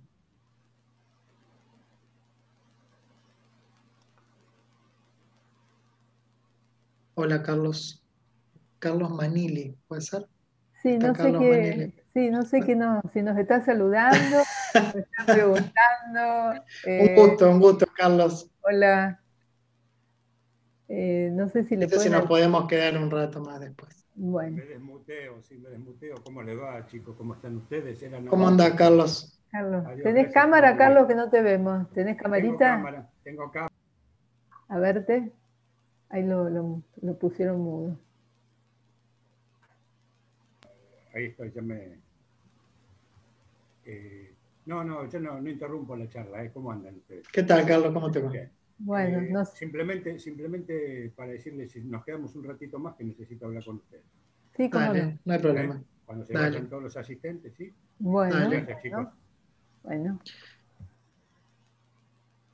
Ahí Matías Uribe levantó la mano, no sé si... Matías, si querés te podés, te podés este, desmutear, no sé si puede. Ahí me desmuteé. ¿Cómo les va? Buenas tardes. Hola. Eh, no, está, no depende de los colegios profesionales, depende de la incumbencia del título que tenga cada uno, eh, y eso está regulado el Ministerio de Educación. Eh, te tira la incumbencia de cada título. Claro, pero el que, discúlpame Matías, el que analiza la incumbencia es el colegio profesional, o sea, el que definitivamente te va a permitir que vos pases ese protocolo y lo vises por el colegio, el colegio, el que te estudia la incumbencia. Como vos decís, está bien, pero te habilita el colegio en nuestro caso. no, no, Ana, discúlpame, discúlpame. Em, el Ministerio de Educación, cuando te entrega las incumbencias de los títulos, establece qué alcance tenés vos. Y los colegios, eh, los colegios profesionales eh, deben verificar que eh, la persona que presenta el protocolo esté matriculada y tenga el título correspondiente Em, por ejemplo, los técnicos tienen hasta, tienen para hacer eh, mediciones de instalaciones de hasta una determinada capacidad, ¿sí? y después de ahí eh, ya hay que ser ingeniero eléctrico, electromecánico, pero los, colegios hoy están eh, verificando verificando esto, no, no, no, no te bajan ni te suben el pulgar, sino está establecido en el... Está bien, pero es, como el no, estamos diciendo lo mismo. En realidad, en el caso de la provincia de Santa Fe, una discusión en el colegio porque hasta no hace mucho los electrónicos no podían medir, por más que tenían la incumbencia. O sea que el colegio no permitía hacer ninguna liquidación de puesta a tierra porque entendía, según la interpretación que tenían de las incumbencias, porque la incumbencia no está medición de puesta a tierra como un ítem separado, digamos. ¿sí? Hay que analizar la incumbencia y el colegio entendía que los electrónicos no podían medir. A lo cual, bueno, después de, ciertas reuniones y demás, el colegio entendió que finalmente sí, por los electrónicos de ciertos planes este, podían hacer la medición, porque entendían que las incumbencias que tenían esos planes este, aseguraban que el profesional podía hacer esa medición clarísimo. Me muteo de vuelta, saludos a todos. Dale. Chao. Gracias.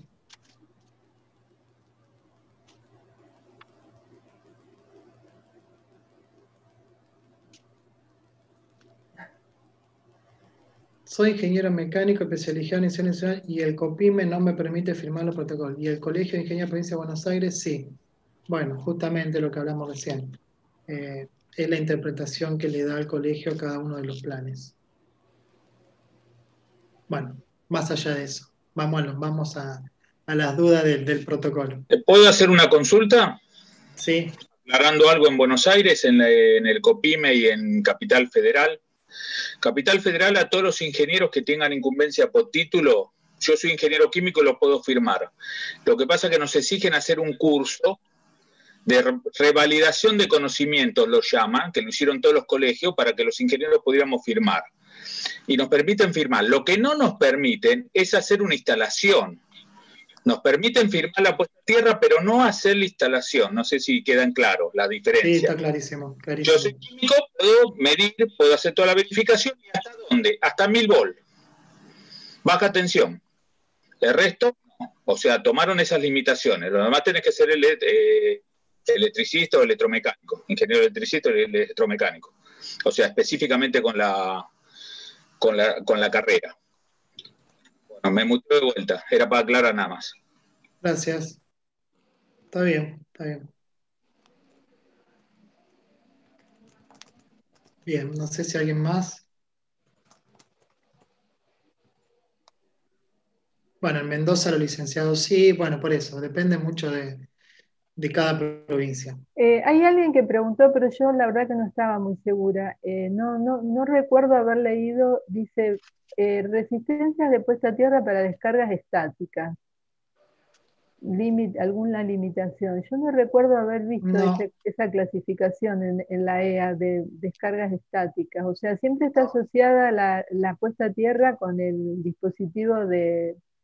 De protección. Claro, con el, la, con el diferencial, porque la Tierra va con el diferencial. Sí, los 40 eh, son para diferencial, con diferencial instantáneo. salvo, como les, les dije, en establecimientos hospitalarios que la han limitado a 10 o para descargas atmosféricas, pero de descargas estáticas yo no me acuerdo haber leído, no, no, no me acuerdo haber leído esos valores. Eh, y después había una pregunta que la, la tablita que él, Gonzalo mostró eh, de tiempos límites es para circuitos terminales, o sea, 60 milisegundos para TT y 200 milisegundos para TT. Es en circuitos terminales porque se supone que la tensión de contacto en los TN va a ser bastante inferior. Y si entramos en la curva con un valor de 100 voltios, por ejemplo, en la curva para 24 voltios nos permite un valor de, tiempo superior, por eso pone 200 milisegundos. Y él eh, está preguntando por, lo, por qué el fusible eh, nos permite, eh, dice, entrar en la curva que funda a los 5 segundos. No sé si vos podés explicar eso, Gonzalo. dice ¿En qué sentido? O sea, ¿por qué él, porque esa tablita es para circuitos terminales y él estaba preguntando por qué para el fusible se permiten 5 segundos. Y porque te acordás que el, tiempo que te permitía, por ejemplo, para un diferencial en una inducta también te permitía ponerlo hasta un segundo. Y claro, para el, tablero principal, eh, para contactos indirectos, permite regularlo hasta un segundo. Lo que eh, es distinto del circuito terminal que el del circuito del tablero principal. hay un mm, escalonamiento en tiempos y en corrientes para no superar. Donde máximo, exacto. Claro, para, no superar eh, la extensión de contacto peligrosa. Pero siempre es la combinación del tiempo con la resistencia de puesta a tierra. Claro. Em, Hasta un segundo, porque se considera que para esa corriente este, digamos, cualquier potencial o cualquier este, masa tensionada con una corriente de falla determinada no puede exceder para ese fusible los 5 segundos. Digamos. Ahí a partir de los 5 segundos empieza a ser peligrosa el, estar con una falla tocando esa falla, digamos. O sea, lo mismo que el interruptor automático. El interruptor automático, yo tengo que asegurarme de que la apertura del interruptor automático para esa corriente de falla sea instantánea. Por eso tengo que asegurarme de que la corriente de falla sea mayor que la corriente instantánea del, del, interruptor, para que la actuación de la falla sea de manera instantánea y el tiempo que tarde en la apertura de, la falla este, sea la máxima posible, de manera que la persona que toca la, falla este, no esté un tiempo este, determinado, peligroso, mayor al que, al que tiene que tener para esa falla particular. Digamos, lo mismo pasa con el fusible. O sea, tengo que asegurarme que no más que para la corriente de falla que mido en esa masa, en la curva del fusible no se excedan los 5 segundos. A partir de ese punto se considera peligroso este, estar tocando esa masa. Gonzalo, mm. Hay una pregunta ahí justo bastante interesante y bastante recurrente. Eh, ¿Dónde? No, no, te la comento, sí, la, puedes ah. explicar. no la vi. Hay una consulta sobre los probadores de, disyuntores, diferenciales, digamos, porque la norma eh, pide, la, SRT pide la, medición por dos, eh, por lo menos por lo que interpreté la pregunta. Y el, problema es que no todos los equipos lo traen, incluso son muy pocos los que los traen, salvo los de gran jerarquía, que bueno, incluso pueden hasta tener que vos le coloques la, corriente que quieras. Entonces hay una pregunta frecuente que, como el, general es de 30 mA, y después salta a 100, el tema de poder hacer la prueba por 2, que sería 60 mA, poder hacerla con un medio de 100, digamos, es por lo menos lo que interpreté de la pregunta, eh, que es como algo más o menos cercano, utilizar, digamos, entre, entre comillas, 50 eh, mA en vez de 60 de a ver, si me la puedo rebuscar con lo que puedo, está bien. Igualmente, igualmente, cuando uno hace todas las mediciones, generalmente si hay muchos diferenciales, no se hacen las cinco mediciones, digamos. Si vos tenés que probar 70 diferenciales, bueno, hace un muestreo de los diferenciales y si querés abarcar la mayor cantidad de diferenciales, no hacer las cinco, no, no se hacen las cinco pruebas, por más que la SRT los pide, digamos, porque si no es impracticable. Es lo mismo que cuando te pide verificar que toda la masa accesible esté puesta a tierra. Uno no puede tocar en una instalación donde es, tenés hierro más accesible para donde mires, no podés tocar todo. O sea, uno lo que hace es criteriosamente hace un muestreo de manera de abarcar toda la instalación y asegurarse de que más o menos esté todo correcto. Lo mismo con las pruebas diferenciales. Uno no hace para todos los diferenciales las cinco pruebas más la rampa, Encima eh, tiene la, prueba de, la doble fase, digamos, con 0,180. Este, no se hace todo. O sea que no es tan grave no hacer la prueba por dos, digamos. Si hace por uno, por cinco y la rampa, y que en todo el instrumento eh, funciona, y si tenés la de medio, la haces la de medio y no salta, bueno, ya está, digamos, ya te aseguraste de que ese instrumento, de que ese diferencial funciona. Sí, sí, más que nada porque es bastante recurrente lo de por dos. Sí, la de, por dos no la traen muchos instrumentos. Claro, exactamente. Era más, que nada por eso y me, pareció bueno destacarlo porque a la hora de la práctica, digamos, los tres puntos de puesta a tierra, continuidad de masas y, diferenciales o disyuntores, es como una pregunta bastante recurrente que te hacen porque, no, porque no consiguen el equipo que cumpla, digamos. Sí, sí, sí, sí. O algunos traen la de dos y no traen la de medio y así. Claro, exactamente. Sí. ¿Querés ver alguna otra pregunta que contestemos interesante? De... Pero no se puede cortar la energía. Nosotros eh, no cortamos la energía para hacer mediciones, o sea, por más que sea TT, TNS, eh, lo único que se corta es, es muy poquito el interruptor diferencial, pero la energía en general, eh, no, a lo sumo vamos a un tablero de tomas y ahí probamos el diferencial que tiene el, toma y nos fijamos si no hay ninguna, algo enchufado que sea peligroso cortar. No es que uno deja la instalación sin energía, eso no, no es factible. Claro, sí. Igual que acá Río de Arc Flash, este, sí, siempre está el riesgo. Es más, muchas empresas te piden, una particularmente nos pidió para hacer las mediciones en tableros, este, nos pidió los guantes, la máscara, todo, ropa inífuga, Sí, siempre está el riesgo. una vez, uno, cada vez que uno mete la mano en el tablero, siempre tenés riesgo de eso y, y, es bueno contar con, los, con todas las medidas de protección. El telurímetro pinza está aprobado por resolución. Vos podés usar el telurímetro pinza. Lo que no podés usarlo es para medir cualquier cosa. Digamos, yo el telurímetro tipo pinza lo utilizo en, o lo utilizaría en, aplicaciones muy concretas. Cuando quiero medir un sistema de jabalina en paralelo, quiero ver cómo está cada una de ellas, utilizo las dos pinzas. Y nada más. Porque no sirve para medir este, más que eso. Porque si tenés una sola jabalina, no te podés medir con, la, con las dos pinzas, o el telurímetro tipo pinza, porque no tenés un lazo. Este, y si se cierra por algún lado, no, no sabes con qué valor de resistencia se cierra. Entonces no es bueno para eso. Mucho menos para continuidad y ya no tenés más aplicaciones que eso. O sea que es muy limitado. Aparenta ser muy bueno porque no tenés que tender, pero es muy limitada la aplicación. Muy limitada.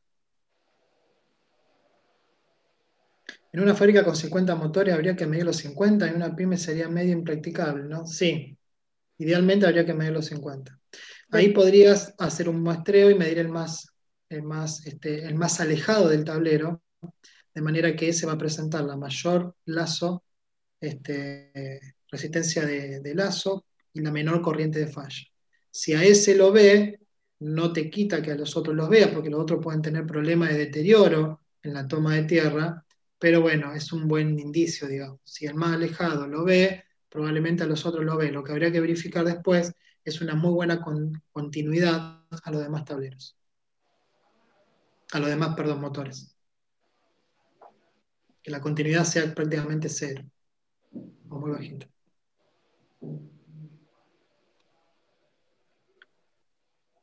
Placas Volvimos, no, no podemos zafar de esas. En caso de no poder medir con las jabalinas auxiliares, en otra capacitación con Analía, Analía, vos le enseñaste lo de las placas. ¿De las placas? No me acuerdo para nada. No, no, yo con jabalinas auxiliares, placa, eh, las placas metálicas es para medir tensiones de paso o tensiones, eh, ¿cómo se llama la otra? Eh, sí, para tensiones. De paso y contacto. Exacto. Ahí la IRAN 2281 te da la metodología que simularía, las placas simularían el peso del cuerpo humano y te permite medir la tensión de paso o de contacto, pero son mediciones muy específicas para paso y contacto, lo de la placa metálica. sí, que no aplican en baja, prácticamente. No, no se hace en baja tensión. En media, claro. Claro, eso lo de las placas era para, para paso y contacto. Acá hay una pregunta que no entiendo. Continuidad de la masa 200 mA, 5 voltios con un cable de prueba agregado y ajustado a cero. No, no termino de entenderlo. ¿Cómo sería, Darío? Eh, yo interpreto que él puede inyectar 200 eh, mA. Una fuente. Entre, claro, entre 4 y 24 voltios, puede ser continua o alterna, y eh, él va a hacer o sea, él eh, va a compensar. Compensa el cable. Compensa el cable. Sí, sí, sí. Obviamente vos tenés que medir una gran una cantidad tan grande muchas veces de la masa que esa, esa metodología es medio impracticable porque es medio complicado. Este, pero sí, sí, sí, podrías hacerlo. Sin cortar la tensión, sí. Eh, ese, Debe hacerse debe hacerse contención, porque para medir el lazo de falla, el instrumento toma la tensión del circuito, inyecta una corriente y mide la impedancia. Eh, los preparados para medir impedancia de lazo, que son los instrumentos específicos con esa función, inyectan menos de 15 mA para que no salten los diferenciales. En cambio, si vos medís la impedancia del lazo de falla con un telurímetro común que no sabés qué corriente está inyectando, puede ser que cuando intentes medir la corriente, eh, la impedancia del lazo, salte el diferencial y no te permite ese telurímetro hacer esa medición. Por eso los eh, específicamente que vienen para medir impedancia del lazo de falla, inyectan una corriente tal que no hagan disparar los diferenciales. ¿En una empresa se debe comprobar la totalidad de los toma corriente? Y sí, sí, nosotros lo hacemos, ahí sí. A menos que sean 10.000 tomacorrientes. Este, los tomacorrientes es importante porque la gente ahí toca enchufa, digamos, ahí sí, eh, hay que probar la, continuidad. Ahí puede hacerte una metodología de medición, digamos, este, con un toma que puedas sacar la pata de tierra afuera y vas, vas tocando todo, sí, es importante. En una empresa sí. En mástiles de comunicaciones y para la parte de la instalación eléctrica y la protección contra contacto indirecto, aplicar resolución 900 seguro. Después vas a tener un tema de puesta a tierra del pararrayo y también la puesta a tierra de los elementos de, lo, de lo que vayas a conectar en el mástil. Que ahí, bueno, la gente electrónica se va a poner un poco nerviosa. Pero sí, sí aplica.